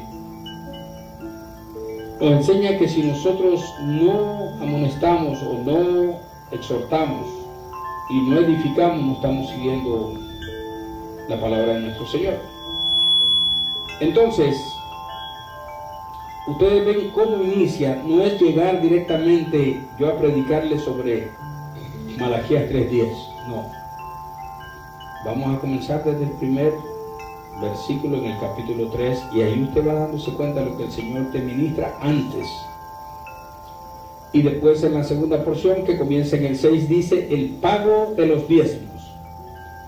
Porque yo Jehová no cambio por estos hijos de Israel, no habéis sido consumidos por esto, porque el Señor no cambia, por eso no han sido consumidos el pueblo de Israel. Porque conviertan hijos de Jacob, ya saben quién es Jacob, ¿no? Israel. Desde los días de nuestros padres os habéis apartado de mis leyes. ¿Cuántos están de acuerdo con eso? Muchos se apartaron de su ley, del pueblo hebreo. Estamos hablando del pueblo hebreo. Y no las guardasteis. Volveos a mí, y yo me volveré a vosotros, ha dicho Jehová de los ejércitos. Mas dijisteis, ¿en qué hemos de volvernos? Todavía no saben por qué se deben volver a Dios. Después que el Señor nos liberó y lo anduvo en el desierto y anduvo con ellos para arriba para abajo, no les cambió la ropa nunca ni los zapatos y 40 años duraron con ellos. Aún así no vieron la gloria de Dios y nunca le agradecieron, porque así somos todos nosotros. No agradecemos a Dios en nada de lo que hace por nosotros. Y terminando y terminamos rehusándonos, no creyéndole. Mas sin embargo, él nosotros nos viene otro con unas palabras lisonjeras y a ese le aplaudimos y le hacemos caso. Y por eso a un hombre justo, verdadero y todo fue crucificado en un palo, en una cruz. Porque somos, como dice el profeta Ezequiel, mi pueblo es rebelde. Y no me obedecieron ni me escucharon mucho menos a ti ese que no te va a escuchar ni nada, pero lleva la semillita. Entonces, hermanos, hay cosas que a veces nosotros a través del Espíritu de Jehová le pedimos el discernir en ciertas cosas y es como nosotros seremos libres conociendo la verdad, porque la verdad os hará libres. Entonces, dice el 7, desde los días de vuestros padres os habéis apartado de mis leyes y no las guardasteis, volveos a mí, regresen a mí yo regresaré a vosotros. Ha dicho Jehová de los ejércitos, más dijisteis en qué hemos de volvernos. Se les olvidó de que tenían que volver a buscarlo. En espíritu, en verdad, buscarlo de vuelta. Y hace una pregunta y dice, ¿robará el hombre a Dios? Y les dice, pues vosotros me habéis robado. Ustedes escucharon lo que leímos anteriormente en Deuteronomio, cuando él hizo a Moisés hablar a su pueblo a Israel sobre lo que iban a hacer los levitas cuando recibieran sus diezmos de la producción, de la fortificación de la tierra, los mejores frutos que salieran de ella, de los árboles, las primicias, de las mejores frutas que podía traerle a él, y de las vacas y las ovejas y de los animales también. Entonces ustedes se acuerdan cuando él le dice que el pueblo, la tribu Leví, no iba a tener heredad. ¿Se acuerdan de eso? ¿Cuántas tribus dijimos que habían entonces de las que iban a traer esos diezmos que eran para Jehová, pero Jehová lo asignó a aquella tribu que no iba a tener heredad? Once tribus del pueblo de Israel iban a traerle a él. Y entonces, ¿en qué me habéis robado? El Señor les pregunta, ¿en qué me ¿Le robarán a Dios? No. Pero vosotros me habéis robado y dijisteis en qué te hemos robado, en vuestros diezmos y ofrendas. ¿Ustedes saben a qué se refiere eso? Hay que saber interpretar y darle el uso a estas palabras de Dios. Esto no es para uso personal y usarlo yo para que la gente venga y venga con armonía a darme porque Dios bendice al dador alegre. No, Señor. Hay que interpretar las cosas de Dios son por amor, no por exigencia ni porque te pongan una expresión a algo, no. Dios bendice, como lo hablamos ahora recién, Dios bendice al dador alegre. ¿Y cuál es aquel dador alegre? El que aquel que propuso en su corazón ver que hay una necesidad, ahí hay que pagar la luz de la iglesia, entonces usted propuso en su corazón llevar y ayudar. Ese es el amor, pero no es el amor de Dios. Eso es lo que trata de enseñarnos. Entonces dice el 8, ¿robará el hombre a Dios? Pues vosotros me habéis robado y dijisteis en qué te hemos robado en vuestros diezmos y ofrendas. Por aquello, el Señor le dice, malditos sois con maldición porque vosotros, la nación toda, me habéis robado. Está hablando de las once tribus. Porque llegó un momento que si ustedes no se acuerdan, tal vez, o no han leído sobre eso, pero yo creo que mi esposa sí se acuerda, hubo uno que en vez de llevar las cosas y eso, la guardaron bajo la cama, bajo los lugares, uno de los jefes de las tribus. Y esa era donde estaba el que fue quemado junto a los que se chupó la tierra. ¿Cómo se llamaba? Coré. Coré, la tribu de él, lo que hizo es esconder los diezmos y todas aquellas cositas. Y Dios no puede ser burlado ni antes, ni después, ni ahora en el futuro, ni lo sobrenatural, ni lo extraterrestre, nada de eso. Él no puede ser burlado. Entonces, malditos sois con maldición porque vosotros, la nación toda, me habéis robado. Traed todos los diezmos al alfolí y haya alimento en mi casa. ¿Para quién eran los diezmos? Ver, si las enseñanzas están de acuerdo, ustedes van a contestar, si no, ¿para? Porque no tenían heredad, ¿verdad? Y entonces, ¿qué le dijo el Señor? De esos diezmos, sobre esos diezmos traerán ofrenda, ¿cómo era? Mesida. Traerán ofrenda mesida y de esa también se iban a alimentar todos ellos.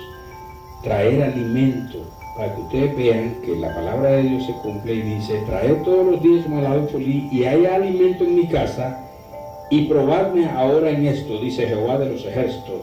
Si no os abriré las ventanas de los cielos y derramaré sobre vosotros bendición hasta que sobreabunde. Porque la palabra de Él es fiel y verdadera y por eso nos dice, si seguimos sus mandamientos, sus estatutos, si seguimos la palabra de Él, todas estas cosas vendrán en bendición para ti. Y entonces ya lo sabemos que está en Deuteronomio 28. De igual forma, también en Deuteronomio 28, te dio las cosas contrarias a las bendiciones si hicieras lo contrario. Entonces nosotros tenemos que aprender a escuchar la voz de Dios y la voz de Dios está en su palabra. ¿Estamos de acuerdo en eso? La voz de Dios está en su palabra. Cada quien en el mundo puede ministrar de la forma que él quiera y de lo que él crea en su corazón está puesto. Pero aquel que sigue la voluntad de Dios y recibe entonces discernido a través del Espíritu Santo, ese tendrá palabra porque estará viva en él a través del Espíritu Santo de Dios, no de su persona. Y por eso es que probad los espíritus, dice el Señor, porque no todos los espíritus son de Dios. Probadlos. Muchas cosas, miramos cosas y oímos cosas y terminamos aplaudiendo y creyendo en ellas. ¿Qué dice la palabra de Dios? ¿Cómo puede un ciego seguir a otro ciego? ¿Los dos caerían dónde? En el hueco. Entonces, pero es lindo cuando tú escuchas a un siervo de Dios decirte, someteos a vuestros pastores, ¿qué son mi Dios? No someteos a vuestros pastores, que son puestos por Dios. ¿Y qué tal si te, te, sometes al pastor ese que nuestro hermano William encontró en adulterio y todo eso? Te sometiste bien. Ay Dios, hay algo malo, ¿no? Entonces se cumple una palabra que dice el Señor en las Sagradas Escrituras, donde dice, maldito el hombre que confía en otro macho. ¿En quién debes de poner toda tu confianza, Humberto? En el que te dio la vida. ¿En quién debes de poner toda tu confianza, hermano Tomás? En el único donde hay que poner tu confianza. Entonces, hermanos, hay que seguir los designios de Dios. Yo les vengo diciendo a ustedes a través del Espíritu Santo de Dios es testigo porque Él siempre se maneja aquí con nosotros. Yo les he estado diciendo cómo el Señor ha estado tocando a la puerta y llama. El Señor ha estado, toca la puerta y llama, toca la puerta y llama. Y la Sagrada Escritura te habla de una frase que ya es típica en todos nosotros, es buscar, buscadme mientras pueda ser hallado. ¿Ustedes creen que eso está en vano escrito ahí por puro gusto? Buscadme mientras pueda ser hallado. ¿Saben por qué? Vienen tiempos de sufrimiento a la tierra. Vienen tiempos de dolor porque está profetizado. Y yo creo en la palabra de Dios. Yo no, no soy un profeta diciendo cosas, no. Yo creo en lo que está escrito aquí. Y estamos en unos tiempos, no lo que toma la gente que siempre dice, ahora todos los años me dicen que viene Dios y no viene. Dios no es así porque su palabra lo dice. No es tardío como muchos piensan. Los tiempos de Él son perfectos. ¿Y por qué no lo hemos tenido? Porque no tiene iglesia que levantar.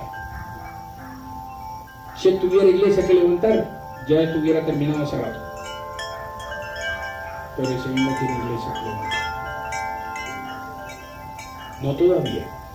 Ahora comienza la preparación del remanente, como dice en Jeremías 23, lo estuvimos leyendo el otro día. Ay de los pastores que dispersan mis ovejas, una advertencia. Y el Señor dice, levantaré nuevos ministros, nuevos pastores, que sí apacentarán mis ovejas. Eso viene, yo lo creo, está escrito. Entonces, hermano, hay que buscar del que todo lo puede. Hay que entrar y seguirle para que tú puedas ser llamado cuando vas caminando ahí de un hombre de Dios. Hay que cumplir lo que Él mandó a hacer. No te harás imagen ni semejanza ni en el cielo, ni en la tierra, ni debajo de la tierra. ¿Y qué nos hemos hecho? Una imagen y semejanza de un Dios que le pide, le das mil y él te da diez mil. Hemos creado una imagen, ¿no? ese no es el Evangelio de Jesucristo. Jesucristo no anda en la prosperidad y Jesucristo no anda en lo sobrenatural. ¿Saben por qué? Porque Él es Dios. Y Dios hizo los cielos y la tierra y dijo, hágase la luz y se hizo. ¿Es algo sobrenatural eso? Eso es tan natural para Él porque Él es Dios. Vamos a aprender a conocer que Él es Dios y que todo lo puede. Por su palabra miente. Porque lo que es imposible para los hombres es posible para Dios. ¿Por qué? Porque Él es Dios. Entonces, Dice el 11, reprenderé también por vosotros al devorador y no os destruirá el fruto de la tierra, ni vuestra vida en el campo será estéril, dice Jehová de los ejércitos. Esto es cumpliendo lo que Él nos dejó dicho en, en las once tribus para que ellos no le robaran a Dios y pudieran llevar ese diezmo, esa ofrenda para los levitas.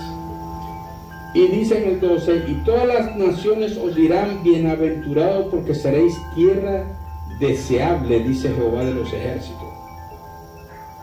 Y después él continúa con una, vamos a comenzar en el 13, donde dice, diferencia entre el justo y el malo. ¿Saben ustedes diferenciar eso? ¿Quién es justo y quién es malo? ¿Podemos diferenciar eso nosotros? ¿Quién es justo y quién es malo? ¿Lo podemos diferenciar nosotros? Sí podemos. Sí podemos porque Dios te dio capacidad a través de su espíritu a probar los espíritus, porque no todo espíritu es de Dios. Y tú sabes cuando una persona, si tú caminas en el espíritu con Dios, Él mismo te hace ver que eso está fuera. Y el justo, que por la fe vive, podrá apreciar y dirá, ese es su nombre de Dios, hay un hombre justo. Y entonces dice en el 13, vuestras palabras contra mí han sido violentas, dice Jehová, y dijisteis que hemos hablado contra ti. Habéis dicho, habéis dicho, por demás es servir a Dios. Escuchen esto, por demás está servir a Dios, ¿ok? ¿Qué aprovecha que guardemos su ley y que andemos afligidos en presencia de Jehová de los ejércitos.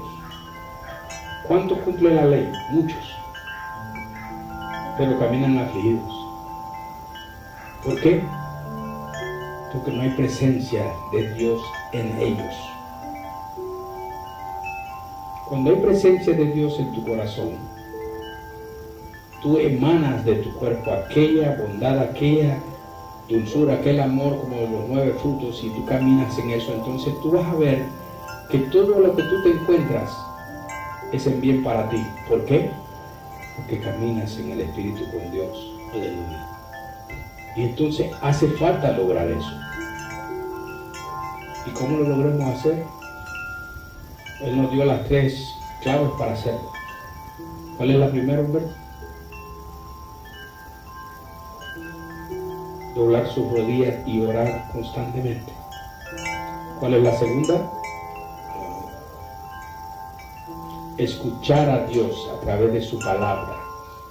¿Y cuál es la tercera para caminar en el Espíritu? Cada vez que te congregues, comparte tu fe con los que están a tu alrededor. Para edificación. Entonces, buscar el reino de Dios primero y su justicia y las demás cosas. Entonces el Señor no se equivoca, Él nos da la guía a dónde vamos, qué debemos de seguir porque el cristiano moderno, se lo dije el otro día y se lo repito ahora, dobla su rodillita y es para qué? Para pedir. Entonces, ¿le creemos a Dios? Yo le creo a Dios, ¿sabe lo que le creo a Dios? Que Él dice, buscar el reino de Dios primero, su justicia las demás cosas te serán añadidas. ¿Por qué? Porque antes de que tú le pidas a Dios, Él ya sabe de qué tú tienes necesidad, lo cual Él provee porque Él es Dios, tu Dios. Entonces, si le crees a Dios, te está diciendo que antes de que tú le pidas, ya Él sabe de qué tú tienes necesidad. Entonces, ¿qué debe de hacer en tu oración? Darle gracias. No seas pidigüeño, ya Él te prometió que las cosas que te hagan falta te las va a poner ahí. Amén. Entonces, ya entienden ustedes cómo es el panorama. Hay que creerle a Dios en su palabra y tener fe. No como dice Isaías, mi pueblo de labios me honra, pero su corazón está por donde? Por la Quimbamba, para allá por el lado de Rusia. Ustedes ven cómo Dios es claro en su palabra. Hay que aprender a escuchar a Dios. Y entonces decimos en el 15, pues ahora bienaventurados son los soberbios y los que hacen impiedad. No solo son prosperados, sino que tentaron a Dios y escaparon. Eso es lo que se cree. Dios no puede ser burlado. Eso es lo que ellos se creen en su mente. su mente perversa y eso. Pero muchos de nosotros caemos en eso, en tentación de esa clase, porque decimos, Mira ese vecino, yo estoy sirviendo a Dios y no tengo nada. Mira ese vecino, clase de que tiene. Mira qué clase la muchacha tiene. Ese hombre está bendecido, ese bienaventurado. Ese, la soberbia que tiene es porque tú estás con él. Y tú que eres cristiano, no tienes ni una bicicleta. Ay, Dios mío. Entonces tú caes en esa tentación de codiciar. Y codiciar es idolatría. Tú no puedes codiciar lo que no te pertenece. Lo que Dios no te ha dado, tú no lo codicies. Él sabe que te hace falta. Vive con lo que te hace falta. Porque es duro que suba al cielo un rico. Es más fácil que pase por, por el ojete de una aguja. Es más fácil que un camello pase por ahí a que entre un rico a reino de los cielos. ¿Por qué no en el cristiano no ves aquel tanto hombre rico, porque el Señor conoce y dice, lo enriquezco y lo pierdo. Lo enriquezco y lo pierdo.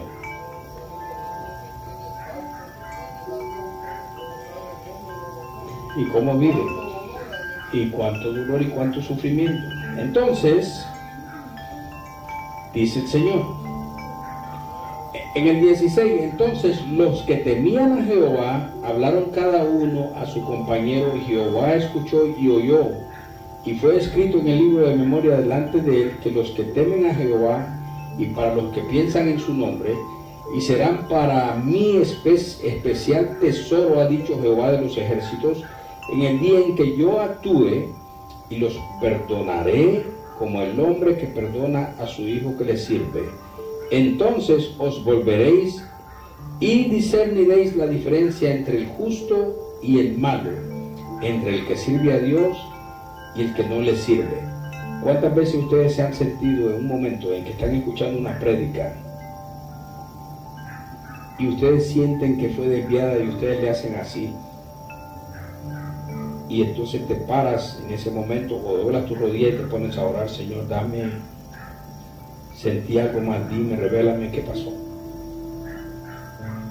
Y el Señor que camina contigo te va a revelar y te va a decir, porque eso tiene Él, que su palabra se cumple y dice, Él no avergonzará a aquel que con fe, confiando en Él, pone toda su confianza en Él, ese no va a ser avergonzado. Entonces, hermanos, hay mucho que aprender de nuestro Señor. Y por eso me encanta esa alabanza que dice, quiero conocer a Jesús. ¿Ustedes lo quieren conocer o ya lo conocen? O sea, dos cosas. Quiero conocerlo y ya lo conocemos porque Él va a estar con nosotros. Gloria a Dios.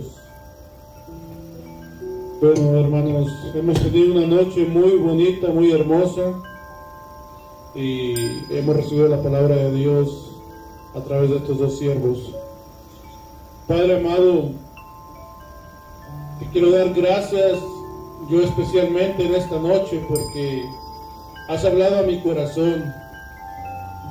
Me has traído palabra, palabra de vida, palabra que voy a poner en práctica palabra que me va a servir para ser un mejor esposo, para ser un mejor padre, un mejor hermano, un mejor empleador, un mejor compañero en mi vida. Te lo quiero decir enfrente de todos mis hermanos, Padre, porque te amo y te quiero, te quiero seguir conociendo, te quiero en mi corazón, en mi vida, en mi casa, en mi familia. Quiero que toques el corazón de mis hijos, de mi hijo Dani, de mi hija Dilenita y mi hija Esmirna. Quiero que toques el corazón de mi esposa, Padre. Ahí donde ella está, Señor bendito. A través de tu siervo Juan me has dicho, Señor, varias veces que tenemos que orar por aquellos que tú traes en nuestras mentes. Y en esta noche lo hago, bendito Dios, porque sé que tú me escuchas, porque sé que tú estás en esta noche reunido con nosotros. Te bendigo y te glorifico grandemente, Padre. Bendice a todos mis hermanos, a todos y cada uno de ellos. Provee lo que nos hace falta, Señor. Danos, Señor, de tu amor constantemente, cada día de nuestras vidas. No permitas que dejemos de sentir tu presencia. Danos, Señor, el pan de cada día. Asimismo, bendito Dios, te pido, Señor, que nos acompañes a nuestros hogares. Sé tú con nosotros, bendito Dios, en este trayecto de regreso a casa. Tú nos has traído con bien y así mismo creeremos que nos llevarás con bien. Sí, Padre. En el nombre del Padre, del Hijo y del Espíritu Santo, Señor amado. Gracias. Te damos gracias